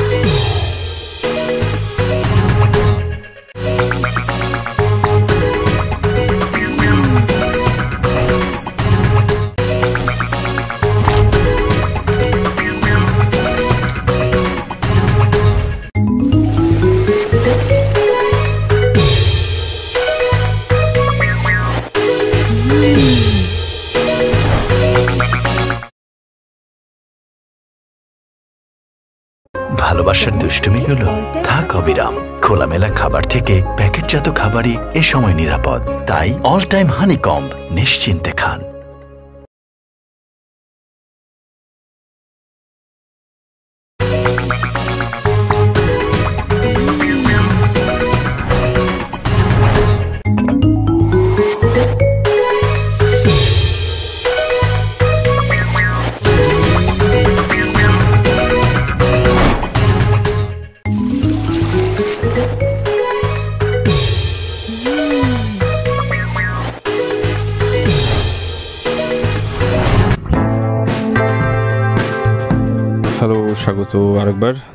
দেখছেন, শুনছেন রাত আড্ডা ব্রট মিঠাই এবং জানিয়ে রাখি মিঠাই মানেই সেরা মিষ্টি সমাজ যা আপনার আনন্দের মুহূর্তগুলোকে দারুণ স্পেশাল করে তুলবে। এছাড়া রয়েছে সেলিব্রেশন কেক যা ফ্রেন্ডস আর ফ্যামিলির সাথে যে কোনো মুহূর্তে আনন্দময় করে তুল- তুলতে চলে আসুন মিঠাই আউটলেটে স্বাদে ঐতিহ্যে মিঠাই। আমরা এই সেগমেন্টে মূলত মিষ্টি মিঠাই আলোচনা আলোচনা করি, যেগুলো আপনাকে নিয়ে কৌতূহলী মানুষরা ঘুরে বেড়ায়। যেটা হচ্ছে, আপনি অভিনয় ফ্যামিলির একজন বলে কলিগরা খুব বেশি থাকে না যে খুচরো প্রেম গভীর প্রেম করার প্রস্তাব দিতে একটু সাহস কম পায়। হ্যাঁ ওটা শুধু ফ্যামিলির জন্য না আমাকে দেখেও ভয় পায়। আমার চোখগুলো অনেক বড় বড়। আচ্ছা। হ্যাঁ তো দেখে আর একটু মানে ভয় পায় আপনি একটু হ্যাঁ কাটকোট্টা ভাবে কথা বলি এই আচ্ছা। কারণে একটু ভয়ই পাই। ভয় পায়। হ্যাঁ মানে বলল দেখা গেল মৌ হা হা করে হেসে একটা কিছু বলে দিল। সো হাঁটি হাঁটি ভেঙে দিল। হ্যাঁ একদম। এই কারণে একটু ভয়ই পাই আচ্ছা এই পর্যন্ত কেউ সাহস করে উঠতে পারেনি বলছেন? এত না বিনয় হওয়ার না না না করেছে তো অবশ্যই। আচ্ছা আপনার ফ্যান এবং ফ্যানদের সাথে ঠিক কনভারসেশনে জড়াতে ভালো লাগে না। এবং ঠিক আছে অ্যাপ্রিসিয়েশন গালি সব কিছুই আপনি খুব সাবলীলভাবে নেন। সত্য? হ্যাঁ গালি ওভাবে খাই না। হ্যাঁ। যেটুক খাই সেটা হচ্ছে কি যেই চরিত্রটা করেছে সেই চরিত্রকে হয়তো বা গালি দিল। সেটা আবার মৌকে না। মৌকে না। আলহামদুলিল্লাহ এই জিনিসটা এখন পর্যন্ত আছে। আচ্ছা যেটা আপনি একটা প্রশ্ন উত্তরে অবশ্য বলে দিয়েছেন তারপরও প্রশ্নটা রাখি যে আপনি এমন কোনো স্ক্রিনিং করেন না যেটা আসলে পরিবার সহ দেখতে হ্যাঁ অড লাগে। চাই না একদমই এবং দু একটা ঘটনা ঘটেছে যে সেট থেকে চলে এসেছেন বা এরকম কাজ হয়েছে। হ্যাঁ হ্যাঁ? সো এটা কি মানে ট্রাস্টেড মানে প্রথম কাজ ছিল তার সাথে ওই ডিরেক্টরের সাথে? এরকম কিছু? না মানে একটা সেট থেকে চলে এসেছি ওটার কোনো কিছু ঠিক ছিল না। আচ্ছা আচ্ছা। মানে একটা আপনি একটা লম্বা সিরিয়াল করবেন কিন্তু আপনার সেটের কোনো কিছু ঠিক নেই আপনার বিহেভিয়ার ঠিক নেই খাওয়া কোনো কিছু ঠিক নেই এবং রাতে একটা ইনসিডেন্ট হয়েছিল। আমরা যেই রুমটাতে ছিলাম আমি ছিলাম আমার সাথে আমার কলিগও ছিল চুমকি আপু ছিল। সো মাঝরাতে রুমে একজন এসে নক করেছিল। হ্যাঁ তো যেহেতু চুমকে পড়ে আমি ছিলাম একসাথে কে? তো শুনলাম যে বাইরের একটা লোক এসে নক করেছে। আমার কথা হচ্ছে কি বাইরের লোক ওই পর্যন্ত আসবে কেন? রাইট খুবই যুক্তি। তার মানে আমি এখানে সেফ না। সো আমি কাজ করব না। আচ্ছা আচ্ছা। সো এটা আমাকে কনভিন্স করতে পারে নাই তারা। আমি কাজটা না করেই চলে এসেছি। পরে তারা কমপ্লেন দিয়েছিল আমার নামে আর্টিস্ট সিকিউরিটিতে হ্যাঁ ওই পর্যন্ত গিয়েছিল। কিন্তু পরে আর কিছু হয়নি কারণ আমার তো যুক্তি ছিল। রাইট রাইট আপনার প্রচার প্রচারণার কৌশল জানা নেই বা এটা জানতে ইচ্ছেও করে না? আসলে জানা নেই। কেউ জানালে আমি জানতে চাই। জানতে চাই। আমি জানতে চাই। খুবই আগ্রহী ব্যাপারে। আচ্ছা।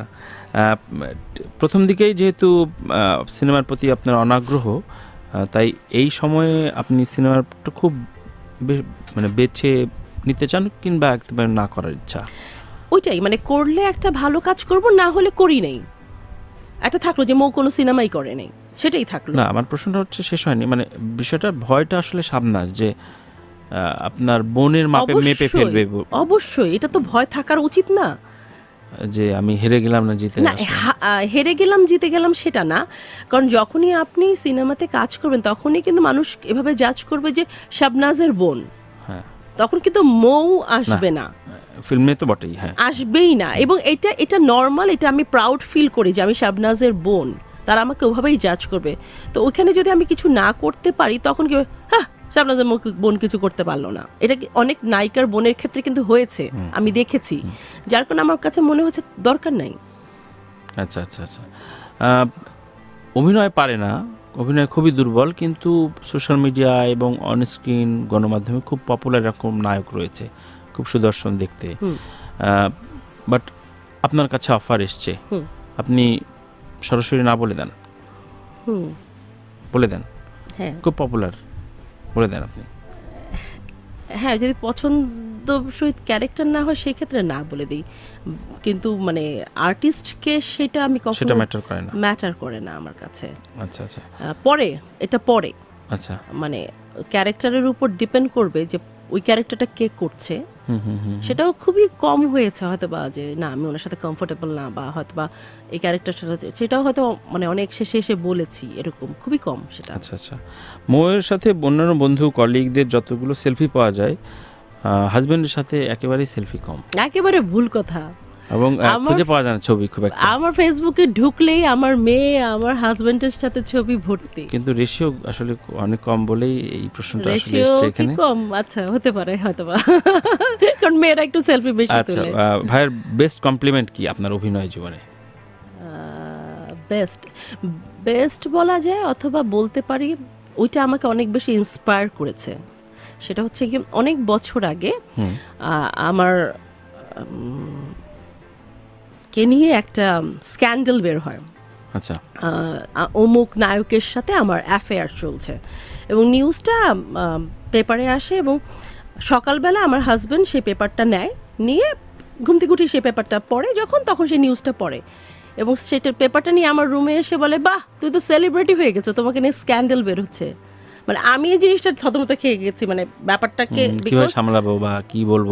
না কারণ আসলে ওই আমার কোনো রিলেশন ছিলই না এটা একদমই একজন সাংবাদিকের তৈরি করা Intention, হ্যাঁ। ইন্টেনশন ভাবে করা।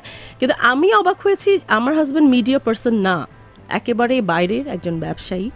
সে জিনিসটা এত সুন্দরভাবে হ্যান্ডেল করেছে এবং সে আমাকে এমনভাবে বলল জিনিসটা আমি খুবই অবাক হয়েছি সত্যি আমি খুব অবাক হয়েছি। তখন মনে হচ্ছে যে না আমি এই মিডিয়াতে কাজ করতে পারি এবং এ- আমাকে সাপোর্ট দিবে। দারুণ দারুণ। সত্যি একটা দারুণ উদাহরণ বললেন যে এত সাপোর্টিভ মানুষ বলে আপনি হয়তো এত স্বচ্ছন্দে কাজ করছেন এবং খুব দাপটে কিছু অ্যান্সার করে গেলেন।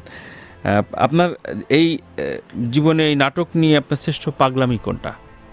নাটক নিয়ে শ্রেষ্ঠ মানে অভিনয় নিয়ে হ্যাঁ যে আপনি নাকি একেবারে রুটিন আপনি সব কিছুতে না রুটিন না মানে মঞ্চে খুব কাজ করতে চেতাম আচ্ছা। তখন উত্তরাতে যখন শিফট হয়ে গেলাম তখন দুই বছর টানা আমি চেষ্টা করেছি। মানে যেভাবে হোক দলে কাজ করবই কাজটা আমাকে করতেই হবে। আচ্ছা। ওই সময় বাসায় অনেক ঝামেলা করেছি। মানে উত্তরে থাকতে চাইতাম না চলে যেতাম ধানমন্ডিতে রিহার্সাল করার জন্য এগুলো। তখন মনে অনেক সাপোর্ট দিয়েছে। ওই ওই পাগলামিটাকে সে সামলে নিয়েছে। তারপরে বুঝতে পেরেছে আসলে এটা সম্ভব না এইভাবে যে এসে সম্ভব না। ওই পাগলামিগুলো ছিল। এখন যেমন আমি বুঝি আসলে এত দূর থেকে যে আমি থিয়েটারটা আসলে করতে পারব না। একদমই বাঁধন অভিমান করে একটু জানা গেছে প্রথম দিকে তাকে অনেকেই অ্যাপ্রিসিয়েট করেনি। হ্যাঁ। তার কলিগরা জেলাস ফিল করেছে বা সামহাও বলতে চায়নি। এই বিষয়টার সাথে কি আপনি কলিগ হিসেবে একমত কিনা? জেলাস আমি বলছি না আপনি করেন করেছেন আমি বুঝতে পেরেছি। জেলাস হয়েছে মানে কোন ব্যাপারটাতে? তার সাকসেস নিতে পারছে না। বলেছে আমার কলিগ খুব কাছের মানুষরাই ফোন করতে চায়নি করেনি। বা আমি যেটা এক্সপেক্ট করেছি ব্যাপারটা কি সত্য কিনা? হতে পারে ওর সাথে হয়তো হতে পারে এটা। আসলে ফোন করাটাও কিন্তু একটা সম্পর্কের ব্যাপার। যে আমি কাকে ফোন করব? আমি হয়তো খুব আগ্রহ নিয়ে বাঁধনকে ফোন করলাম। বাঁধন তোমার এই কাছে ও ও পাশ থেকে হয়তো বা বাঁধন হয়তো অ্যান্সারটা হতে পারে যে কে তুমি? চিনলই না অথবা নাম্বারটা হয়তো সেভ করা নেই। হ্যাঁ এটাও কিন্তু হতে পারে। মানে আমরা পজিটিভ নেগেটিভ দুটাই ধরি না ধরি না কেন? রাইট রাইট আপনি এখন অনেকেই যেমন গণমাধ্যমের এটার একটা মানে খেয়ালিপনা যে নিজস্ব মুটিয়ে যাওয়া বা খুব জিম প্র্যাকটিস করার পরে বলা বলা যে নতুনভাবে নতুন বদলে যাওয়া কিন্তু চরিত্রের প্রয়োজন তো যে কোনো কিছুতে হ্যাঁ, হতে পারে। আপনি এই বিষয়ে খুব বেশি কনসাস না? আসলে ব্যাপারটা তা না এটা অনেকেই জানে না আমার থাইরয়েড আছে আচ্ছা। এবং দশ বছর ধরে আমার থাইরয়েড তো আমি চাইলেও আসলে শুকাতে পারি না। মানে আমাকে শুকাতে হলে অনেক কষ্ট করতে শুকাতেই কেন হবে? মানে না ওইটা পরে আসি বাট আমার সুস্থ থাকার জন্য তো অবশ্যই শুকাতে হবে। আমি চাই শুকাতে কারণ আমার সুস্থ থাকার জন্যই আমাকে দরকার কিন্তু আমি পারি না কারণ আমাকে যদি শুকাতে হয় আমাকে ফুড কন্ট্রোল করতে হয় আমাকে প্রচুর হাঁটতে হয় যাদের আছে তারা জানে খুব ভালো হ্যাঁ. সো এটা একটা আমার প্রবলেম আর চরিত্রের প্রয়োজনে আসলেই মানে মাঝে মাঝে কিছু চরিত্র যখন আসে তখন মনে হয় আসলে ওয়েটটা একটু কম হলে আমি ওই কাজটা করতে আরও আরাম পেতাম। এটা আচ্ছা। দরকার। দরকার। এটা আসলেই দরকার। আচ্ছা আচ্ছা। আপনার প্রথম বিদেশে শো করা বা শুটিং করা বা ভ্রমণের একটা অভিজ্ঞতা বলেন। নাটকের শুটিংয়ে গিয়েছিলাম। তখন এক ডিরেক্টরের ডেট দেওয়া ছিল। একদিন বোধহয় ডেটের একটু ঝামেলা হয়েছে। সে যে বকাটা দিল হ্যাঁ বিদেশের নাটক পেয়েছ দেখে চলে যাচ্ছ। দেশের আচ্ছা। নাটক পাশিয়ে এটা একটা ছিল যাওয়ার আগেই তার কাছ হ্যাঁ, থেকে অনেক ছিল? ব্যাংককে। আচ্ছা আচ্ছা। প্রথম কাজ করেছি বিদেশে ব্যাংককে। বাট আমরা অনেক মজা করেছিলাম কারণ আমার বন্ধু ছিল রোমানা ছিল আমি ছিলাম। আমরা অনেক হইচই করে মানে অত কষ্ট হয় নাই। মানে শুটিং করতাম তারপর একটা ফান করতাম মানে রাতেবেলা আড্ডা হইচই সময় কেটেছে। আচ্ছা আচ্ছা। দেশের বাইরে শুটিং হলে বা ঢাকার বাইরে শুটিং হলে এক ধরনের বন্ধুত্ব হয় ফ্রেন্ডশিপটা হয় কিন্তু। আপনি বলছেন আপনার জিতু হাসানের সাথে খুবই কমফোর্ট আপনি। অনেকের সাথে কমফোর্ট জিতু ভাইও। মানে জিতু ভাইকে আমি বড় পছন্দ করি। আচ্ছা পছন্দ করেন। হ্যাঁ। কবি বললি বললেন এই জন্য আলাদাভাবে অনেকে তিন চারজনের নাম বলে আপনি জিতুর নাম বললেন। সত্যি এই এই ক্ষেত্রে বাংলাদেশে এই সময়ে যাদের আপনার পরে এসছে তাদের কাজ কেমন লাগছে? দু তিনজনের নাম বলেন। কোন কাজটা আমার দেখেছেন আপনি? আমার একেবারে এখন ফারিনের কাজ খুব ভালো লাগে। আচ্ছা কোন কাজটা? ফারিনের কারাগারে। কাজ করেছে। এছাড়াও ওর নাটক মানে আমার ওকে ভালো লাগে। আচ্ছা আচ্ছা অনেক সুইট লাগে। মেজাবিনের কাছে তো খুবই ভালো লাগে। খুবই পছন্দ করি। ছেলেদের মধ্যে অপূর্ব নিশো তো অবশ্যই ভালো কাজ করে সেটা তো। নিলয়। আচ্ছা। নিলয়ের সাথে কাজ করতেও ভালো লাগে। মানে ওর সাথে অনেকগুলো কাজ করেছি একসাথে কাজ করতেও ভালো লাগে এবং ভালো চেষ্টা করে মানে ও অনেক নিজেকে ডেভেলপ করেছে। এটা দেখতে অনেক ভালো লাগে। নিজেকে নিজেকে। আগের চাইতে। আগের চাইতে ও নিজেকে ভেঙে নিজের মতো করে কাজ করেছে। এটা অনেক অনেক ভালো লাগে। আচ্ছা আচ্ছা। মিডিয়ায় ইগো অল্টার ইগো থাকে সংসারে এবং সেটা একই পেশায় থাকলে কি বেশি হয়? আপনি তো জানা কথা না কিন্তু আচ্ছা, এই বেসিক এটা কেউ কারোটা বলতে পারে না। কিন্তু তারপরও এই বিষয়গুলো কতটা আপনি হ্যান্ডেল করেন নিজের সংসার বা তার পরিবার কলিগদের সংসারে কেমন দেখেন? না দেখি আছে। অবশ্যই ইগোর ব্যাপারটা থাকেই। ইগো অল্টার ইগো বেশি ফাইট করে। ফাইট করে একটা এটা এটা তো নর্মাল তাই না? নর্মাল নর্মাল যে একটা ইনভিটেশন কার্ড আসলো সে কার্ডে হয়তো বা অভিনেত্রীর নামটা আগে হাজব্যান্ডের নামটা হয়তো পরে আসলো। হ্যাঁ। অথবা পাঠালোই না। মানে আমার ঠিক এটাই মনে পড়ছিল না হ্যাঁ। শাহেদ ভাই কিছুদিন আগে এটা বলছিল হ্যাঁ এরকম হয়তো। হ্যাঁ হ্যাঁ হ্যাঁ। হয়তো। তো এটা এটা কাজ করে। কাজ করে। কাজ করে। এবং আমার কথা হচ্ছে যারা ইনভাইট করছে তারা কিন্তু একটু চিন্তা করে ইনভাইট করতে পারে। যেমন কিছুদিন আগে একটা চ্যানেলের অ্যাওয়ার্ড অনুষ্ঠানে দাওয়াত নিয়ে আমি অনেক কথা শুনিয়েছি। আচ্ছা। কথা শুনিয়েছি এই কারণে যে আমি দীর্ঘদিন ধরে তোমাদের নাটকে তোমাদের চ্যানেলের একটা নাটকে কাজ করি। তো তোমরা যদি কার্ড না বানাও অনলাইনে তো একটা কিছু পাঠাবে। ডিজিটাল কার্ডে একটা ডিজিটাল কার্ড তো পাঠাবে। তোমার লিস্টে তো নামটা থাকবে আমাদের। লিস্টেই নাম নাই তাহলে কেমন করে হয়? এটা তো মানে অবশ্যই আমার ইগোতে লেগেছে। ডেফিনেটলি ডেফিনেটলি এটা মানে আপনি সেটা বলেছেন। আমি বলেছি আমি বলেছি। তার মানে মানে আপনারা কি কাউন্টই করছেন? এখন শুধু যারা ভাইরাল বা যারা সুপারস্টার তাদেরকেই আপনি কাউন্ট করছেন? অর্থাৎ চ্যানেল কিন্তু চলছে হচ্ছে আমাদের সিরিয়াল দিয়ে। ডেলি যাচ্ছে এই সিরিয়াল দিয়ে আপনার চ্যানেলটাকে মানুষ চিনেছে। আর আপনি এখন এটা ঠিকমতো দি করছেন না। তো এটা বলব না। খুবই লজিক্যাল এবং এই শিষ্টাচারের অভাব রয়েছে আসলে সব সব ক্ষেত্রেই। এই যে অভিমান এই যে না পাওয়ার বেদনা এইসব থেকেই কি মৌ গত প্রায় পাঁচ বছরে আশি জন ফ্যামিলি বিদেশে পাড়ি দিয়েছে। আমরা যে রিপোর্টটা চেপেছি সাতাত্তর জন তারকারা চলে গেছেন। ম্যাক্সিমাম আমেরিকা ইউরোপ অস্ট্রেলিয়া গেছে কারা বলেন তো? Most popular Senior. Senior and popular হ্যাঁ মানে আপনি একদমই রিসেন্ট যারা আপনি কত সিনিয়র হলে যাবেন? হ্যাঁ আমি যাব। না যাওয়ার কিছু নেই। একটু বলেন মানে এগুলো মানে- কোন আক্ষেপ থেকে তৈরি হয়? আজকে আমার মিডিয়াতে বিশ বছর হয়েছে। বিশ বছরে তো আমি এতটুকু হলেও অভিনয়টা শিখেছি শিখেছি না। হ্যাঁ আপনি যখন একটা প্রোডাকশন করছেন একটা নাটক বানাচ্ছেন তখন কি আপনি আমাকে প্রপার জায়গাটা দিচ্ছেন? বা প্রপার সম্মানীটা দিচ্ছেন? আচ্ছা সম্মানই না হয় নাই আমাদের বাজেটই কম। চরিত্রটা থেকে ভালো দেন সেটাও তো দিচ্ছেন না। আপনি এমন একজনকে নিয়ে দাঁড় করে দিচ্ছেন যে কিনা কিছুদিন আগে আসছে বা সে তার অভিনয়ের কোনো অভিজ্ঞতাই নেই তাকে দাঁড় করাচ্ছেন। অথবা আপনি আমাকে দাঁড় করাচ্ছেন। মানে আপনি কম্পেয়ার করছেন এভাবে। তো আমি বিশ বছর এখানে সময় দিয়েছি। আমার তো একটা তো চাওয়া থাকবে। আপনি সেটা দিচ্ছেন না তো আমি তো ফ্রাস্ট্রেটেড হব। অন্য দেশে আমরা পাশের দেশ বলেন যেই দেশে তাকাই না কেন একজন সিনিয়র অভিনেতা বা অভিনেত্রীকে যেটাই বলেন না কেন আপনি তারা কিন্তু একটা জায়গায় মাপে। একটা চরিত্র দেয় বা যে একটা একটা সম্মান দেয়। আমরা কিন্তু সেটা করি না। আমরা টোটালি করি না। আমরা প্রথমেই উনি সিনিয়র হয়ে গেছেন। সিনিয়র হয়ে গেছেন তো কি হয়েছে? সিনিয়র হয়েছে তার মানে কি? উনি অনেক অভিজ্ঞ এখন অনেক ভালো করতে পারবে কাজটা কিন্তু সেটা সেভাবে আমরা নিচ্ছি না কিন্তু। তো আমার কাজটা হচ্ছে অভিনয় করা। আপনি যখন আমাকে প্রপার জায়গাটা দিচ্ছেন না আমাকে অভিনয় করার সুযোগ দিচ্ছেন না আমার রেমুনেশন বাড়ছে না তাহলে আমি চলবো কি করে? মাস গেলে তো বাসা ভাড়া দিতে হবে খেতে তো হবে। তো যখন আমার কাজ নেই একজন মানে আমি বাংলাদেশে এখন অভিনয় করছি। আমার কাজ নেই। আমি কি করব আমাকে বলেন? আমাকে একটা চাকরি দিতে পারবেন আপনি? বাস্তবতা বা পেনশন গ্র্যাচুইটি এগুলো কিছু কি আছে কিছুই নেই। তো অ্যাটলিস্ট আমি যদি বিদেশে চলে যাই আমি হয়তো বা সেলসের কাজ করতে পারব। ওখানে অ্যাটলিস্ট মানে একশো জনের মধ্যে হয়তো মানে কিছু মানুষ আমাকে চিনবে অ্যাজ এ অ্যাক্টর হিসাবে। বাঙালি যারা তারা চিনবে। বিদেশিরা তো চিনবে না। তো ওখানে আমার মান সম্মানের কোনো ভয় নেই আমি কাজ করতে পারব। কিন্তু এখন যদি আমি বাংলাদেশে একটা দোকানে সেলস গার্ল হিসাবে ঢুকি একশো জনই তো আমাকে চিনবে। রাইট মানে এই ক্রাইসিসগুলো তখন আমাকে তো বাঁচতে হবে। আমাকে বাঁচতে হলে আমাকে ইনকাম করতে হবে। তো আমি কীভাবে করব? আপনি আমাকে অভিনয় নেবেন না। আপনি দুদিন পর পর আপনার সার্কুলার দিবেন নতুন মুখ খুঁজছি নতুন মুখ খুঁজছি তো পুরান মুখগুলোর কি হবে?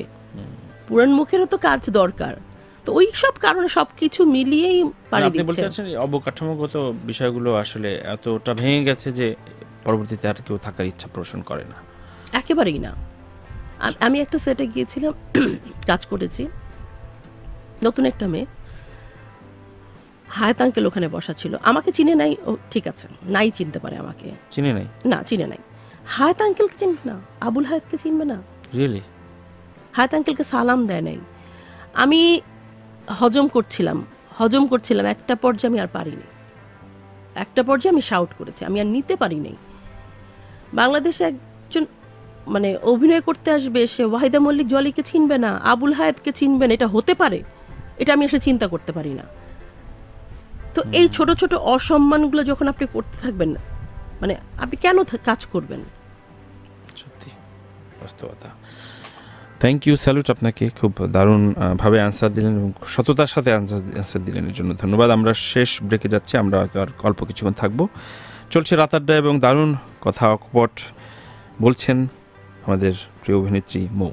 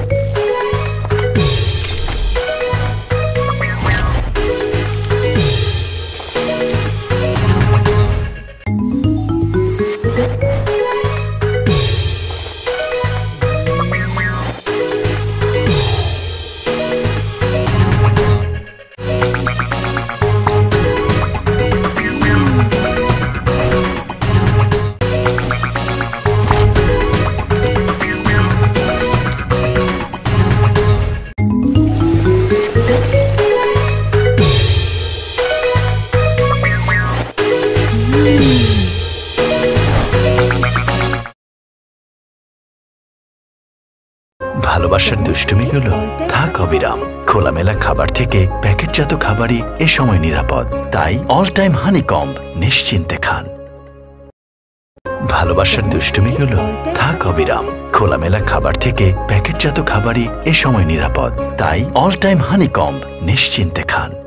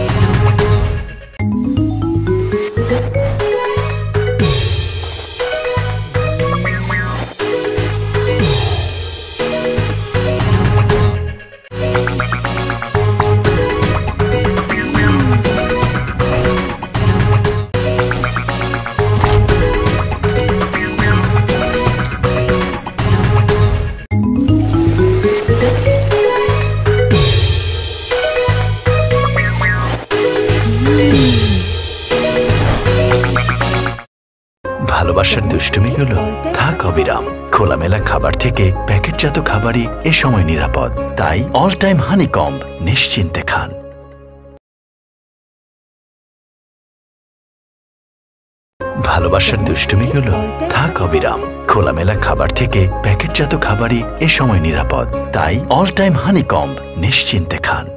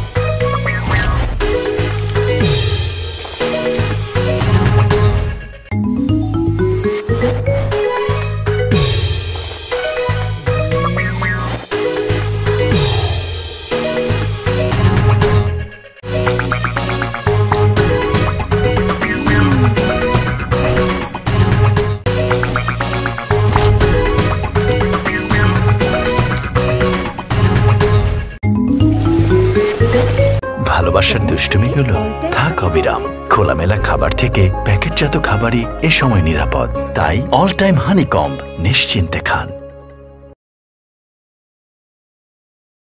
ভালোবাসার দুষ্টুমি দুষ্টুমিগুলো থাক অবিরাম, খোলামেলা খাবার থেকে প্যাকেটজাত খাবার হ্যালো, স্বাগত, আরেকবার চলছে রাত আড্ডা। ব্রাটুবে মিঠাই এবং জানিয়ে রাখি, মিঠাই মানে সেরা মিষ্টি সমাজ, যা আপনার আনন্দের মুহূর্তগুলোকে স্পেশাল করে তুলবে।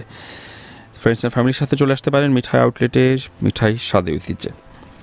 দারুণ অকপট কিছু কথা শুনছিলাম। সাধারণত আমার শোতে এ ধরনের এক্সপিরিয়েন্স খুব কম হয়, এত দারুণ খোলামেলা আলোচনা এবং অবশ্যই নিজের ভেতরে সততা থাকলেই এ ধরনের অ্যান্সার করা যায়। Thank you Mou. আমরা একেবারে শেষ পর্যায়ে রয়েছি। এই পর্বে মূলত শুরু করি আমার নাম তানভি তারেক। আমাকে তিনটে প্রশ্ন করার, আমি প্রশ্ন নেই আর কি। কি কৌতূহল জাগছে, কি প্রশ্ন করতে ইচ্ছা করছে, গণমাধ্যম বা যে কোনো কিছু। বলেন। আমার সাথে আড্ডা দিয়ে আপনার কেমন লাগছে? কারণ আপনার সাথে আমার আড্ডা কখনো দেওয়া হয়নি তাই না? হ্যাঁ। আপনি প্রথমেই কমপ্লেনটা করেছেন। রাইট হ্যাঁ। হ্যাঁ তো আপনার কেমন লাগছে আমার সাথে আড্ডা দিয়ে? ও না এটা আমি পরপর দুবার বললাম যে- সাধারণত এই সিটে এসে মানে দুই রকম আলোচনা হয়। ক্যামেরাটা অফ হলে একরকম আলোচনা হয় আর ক্যামেরাটা অন হলে দুইটা দুইটা দুই মানুষ ম্যাক্সিমাম ক্ষেত্রে কিছু কিছু যে ব্যতিক্রম থাকে না সেটা না। কিন্তু আপনি আসলে সরল অকপট। থ্যাংক ইউ খুব ভালো লাগছে। থ্যাংক ইউ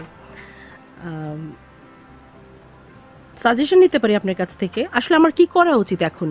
মিডিয়াতে কাজ করতে রেগুলার যদি কাজ করতে চাই ভালো কাজ করতে চাই তাহলে আসলে আমার কি করা উচিত? এটা বলা মুশকিল কিন্তু আমি মনে করি যে এখন যেটা হয়েছে যে ডিরেক্টর অনেক ম্যাটার করে। আপনি তো অনেক ডিরেক্টরের সাথে কাজ করেছেন। কিন্তু আপনি আপনার দাবির জায়গাটা আপনার থটের জায়গাটা শেয়ার করতে পারেন। কারেকশন করে মানে যেটা হয় আমি অন্য কয়েক বেশ কিছু যেমন যে নাসিরুদ্দিন স্যার যে ওয়াইফ আমি নামটা ভুলে গেছি ভীষণ মারাত্মক অভিনেত্রী। তো উনি একটা ইন্টারভিউতে লাস্ট বললেন যে এই যে আপনি আলাদা হলেন কীভাবে? তো উনি বললেন যে আমি গড়পড়তে অনেকের কাজ সার্ভ করেছি কিন্তু এক সময় দেখলাম যে ওরাই আমাকে আসলে শেষ করে দিচ্ছে। মানে ওই যে যেটা হয় হ্যাঁ, আমাদের লুপ হয়ে। যায়। তো তখন আমি কিছু মানুষকে ডাকলাম। ডেকে আমার স্ক্রিপ্ট পড়ে পড়েছিল। আমি নিজে বসে বললাম যে এইটা কেন এটা? এটার এটাভাবে করা যায় কিনা? এটা করলে আমি করব। এবং আমি মোটামুটি তাদেরকে নিয়ে গ্রুমরাপ করলাম। সবাই যে আমার সব কথা শুনলো তা না। কিন্তু যারা আমার কথা শুনলো তারা আমার তাদেরকে আমি নিলাম। তো আপনি তো বিশ বছর সার্ভ করলেন। একটা বিশাল রিলেশন হয়েছে। অনেকের কাজ করেছেন অনেকের কাজ একেবারে ইন টাইম গেছেন অনেক কম খরচে করে দিয়ে আসছেন। এগুলো তো ঋণ আছে সেই ঋণগুলো আপনি আগে তুলেন। কারণ ইয়ার ভেরি নাইস আপনি ক্যাপেবল আপনি দারুণ অভিনয় করেন। সুতরাং এই বিষয়গুলো আসলে জরুরি। আমার দৃষ্টি সরি টু সে বেশি বলে ফেললাম। না আসলে আমার আসলে উচিত আমি বুঝি তো করা হয় না। ফাল্গুনি পাঠক নাকি? আমার নামটা হ্যাঁ নামটা ভুলে গেছি আমি বাট চেহারাটা একদম অসাধারণ হ্যাঁ, হ্যাঁ, তার একটা ড্রামা থিয়েটার দেখেছি। দেখেছি। ওই দিন ছিলাম বোধহয় একসাথে। একসাথে ছিলাম। Right last question any question বলো।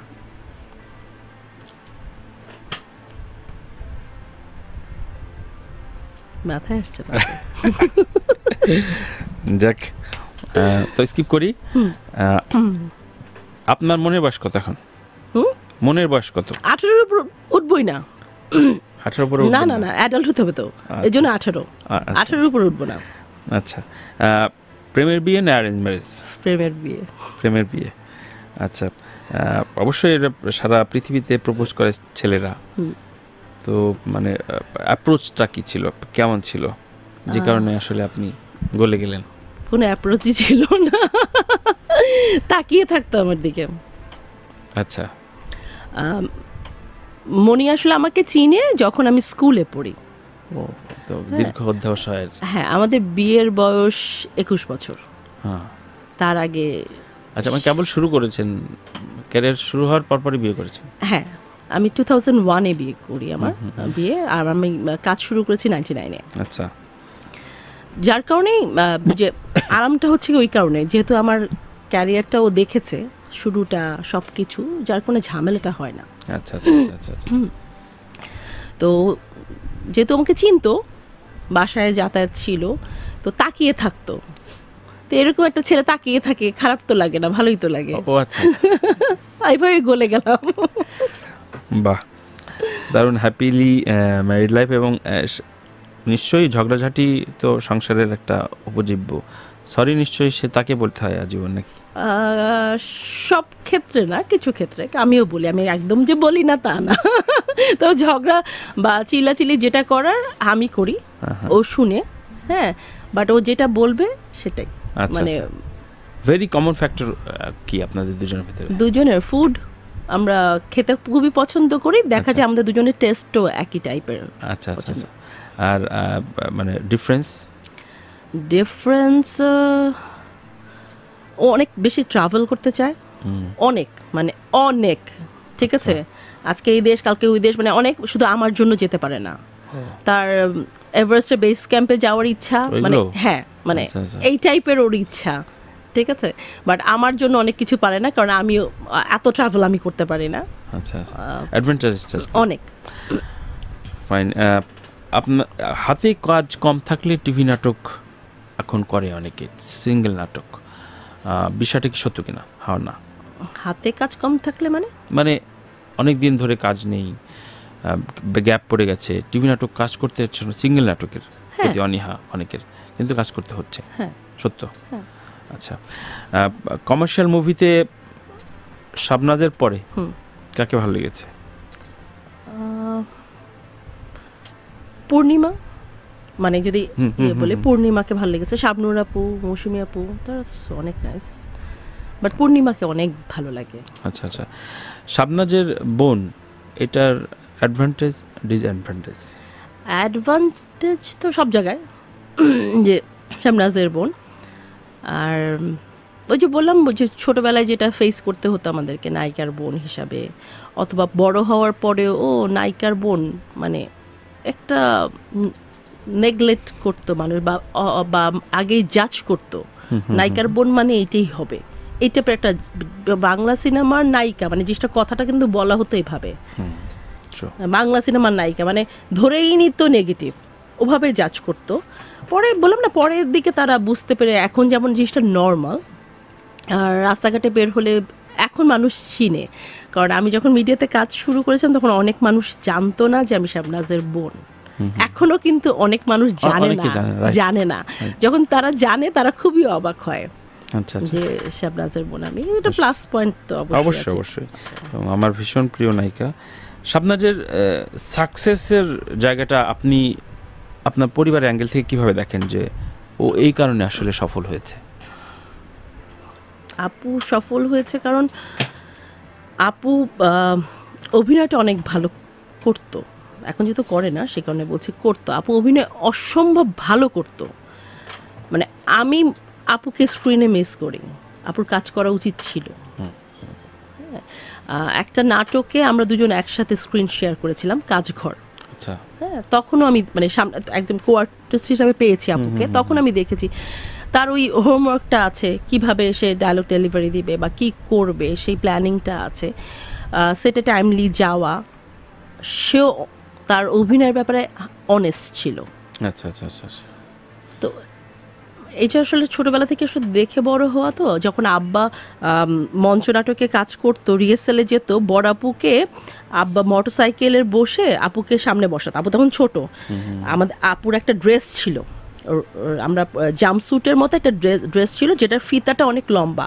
আব্বা আপুকে মোটরসাইকেলের সামনে বসিয়ে ফিতাটা দিয়ে তার কোমরের সাথে আপুকে বেঁধে নিত।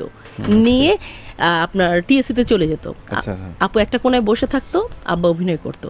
ছোটবেলা থেকে তো আপু এটা দেখে বড় হয়েছে। হ্যাঁ। আচ্ছা, আপু বসে বসে অভিনয় দেখছে আব্বার। তো একটা স্কুলিং এর মধ্যে দিয়ে তো সে বড় হয়েছে সে জানে টাইমলি সেটে যাওয়া অভিনয়টা কীভাবে করতে হয়। তো এইটা তাকে অনেক প্লাস করেছে। আচ্ছা আচ্ছা তার। ক্যারিয়ারে শাবনাজ নাইমের প্রেমের সম্পর্ক আপনারা কবে জানলেন? আপু আর আমি যতটুকু জানি বড় আপু আর ভাইয়ার প্রেম হয়েছে পরে তার আগে নাইম ভাইয়ের আব্বা বিয়ের প্রস্তাব পাঠিয়েছিল আমাদের বাসায়। আগে? আগে। তখন আমার বাবা বলেছে যদি শাবনাজ পছন্দ করে নাইমকে তাহলে চিন্তা করা যায়। কিন্তু যদি পছন্দ না করে তাহলে এখন না।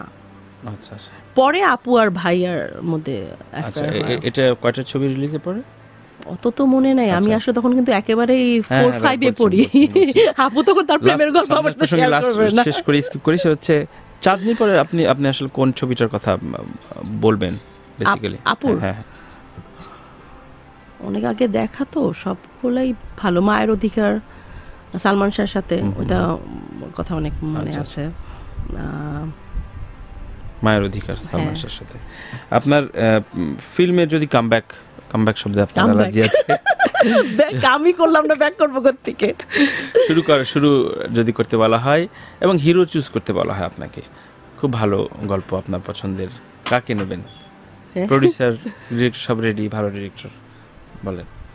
আমার মানে কমার্শিয়াল মুভি নায়িকা হ্যাঁ নায়িকা চরিত্র। এখন নায়িকা চরিত্র আমাকে। নিবে না? না আপ- আপনাকে নেবেই না। আপনাকে ঘিরেই ধরেন। নিবেই না। তাহলে তারেক ভাই তারেকের নাম। তারেক রহমান খান আচ্ছা আচ্ছা। গুড চয়েস দেশে বিদেশে আপনার মোস্ট রোমান্টিক হিরো কে? ফিল্ম অন ফিল্ম আমার তো ঋতিক রোশন ফেভারিট ঋতিক রোশন। তো ঋতিক রোশন ওয়ান মর্নিং আপনার বাসায় আসলে কি মানে একটা উইশ সে পূরণ করবে? ফিট হয়ে যাব তো দেখে। উইশ তো পরে বলতে হবে। আচ্ছা এটা সবাই বাসায় জানে সবাই জানে।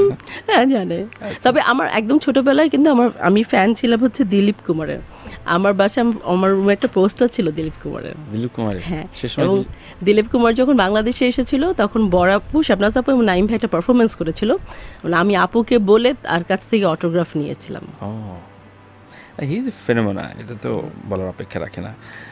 তার মানে ঋতিক রোশন এবং এখন এখন এই সময়ে থাকে না যে আপনাকে যদি সিনেমা প্রডিউস বা ডিরেক্ট করতে বলা হয় এই সময়ের হিরো হিরোইন কাকে নেবেন আপনি? আমার সিয়ামকে ভালো লাগে অনেক। সিয়াম? সিয়াম। আর নায়িকা? নায়িকা সিয়ামের কোন ছবিটা দেখা হয়নি কিন্তু আচ্ছা। যতটুকু আমি তার ইন্টারভিউ দেখেছি হ্যাঁ, হ্যাঁ, সিএমের দেখেছি আমি ইয়ে দে পাপ্পুন্ন দেখেছি। আচ্ছা। হ্যাঁ ইন্টারভিউ দেখেছি মানে কথা বলা যায়। আচ্ছা। মানে মেধাবী ছেলে অভিনয় ভালো করে আমার কাছে তাকে খুবই পছন্দ। আচ্ছা আচ্ছা।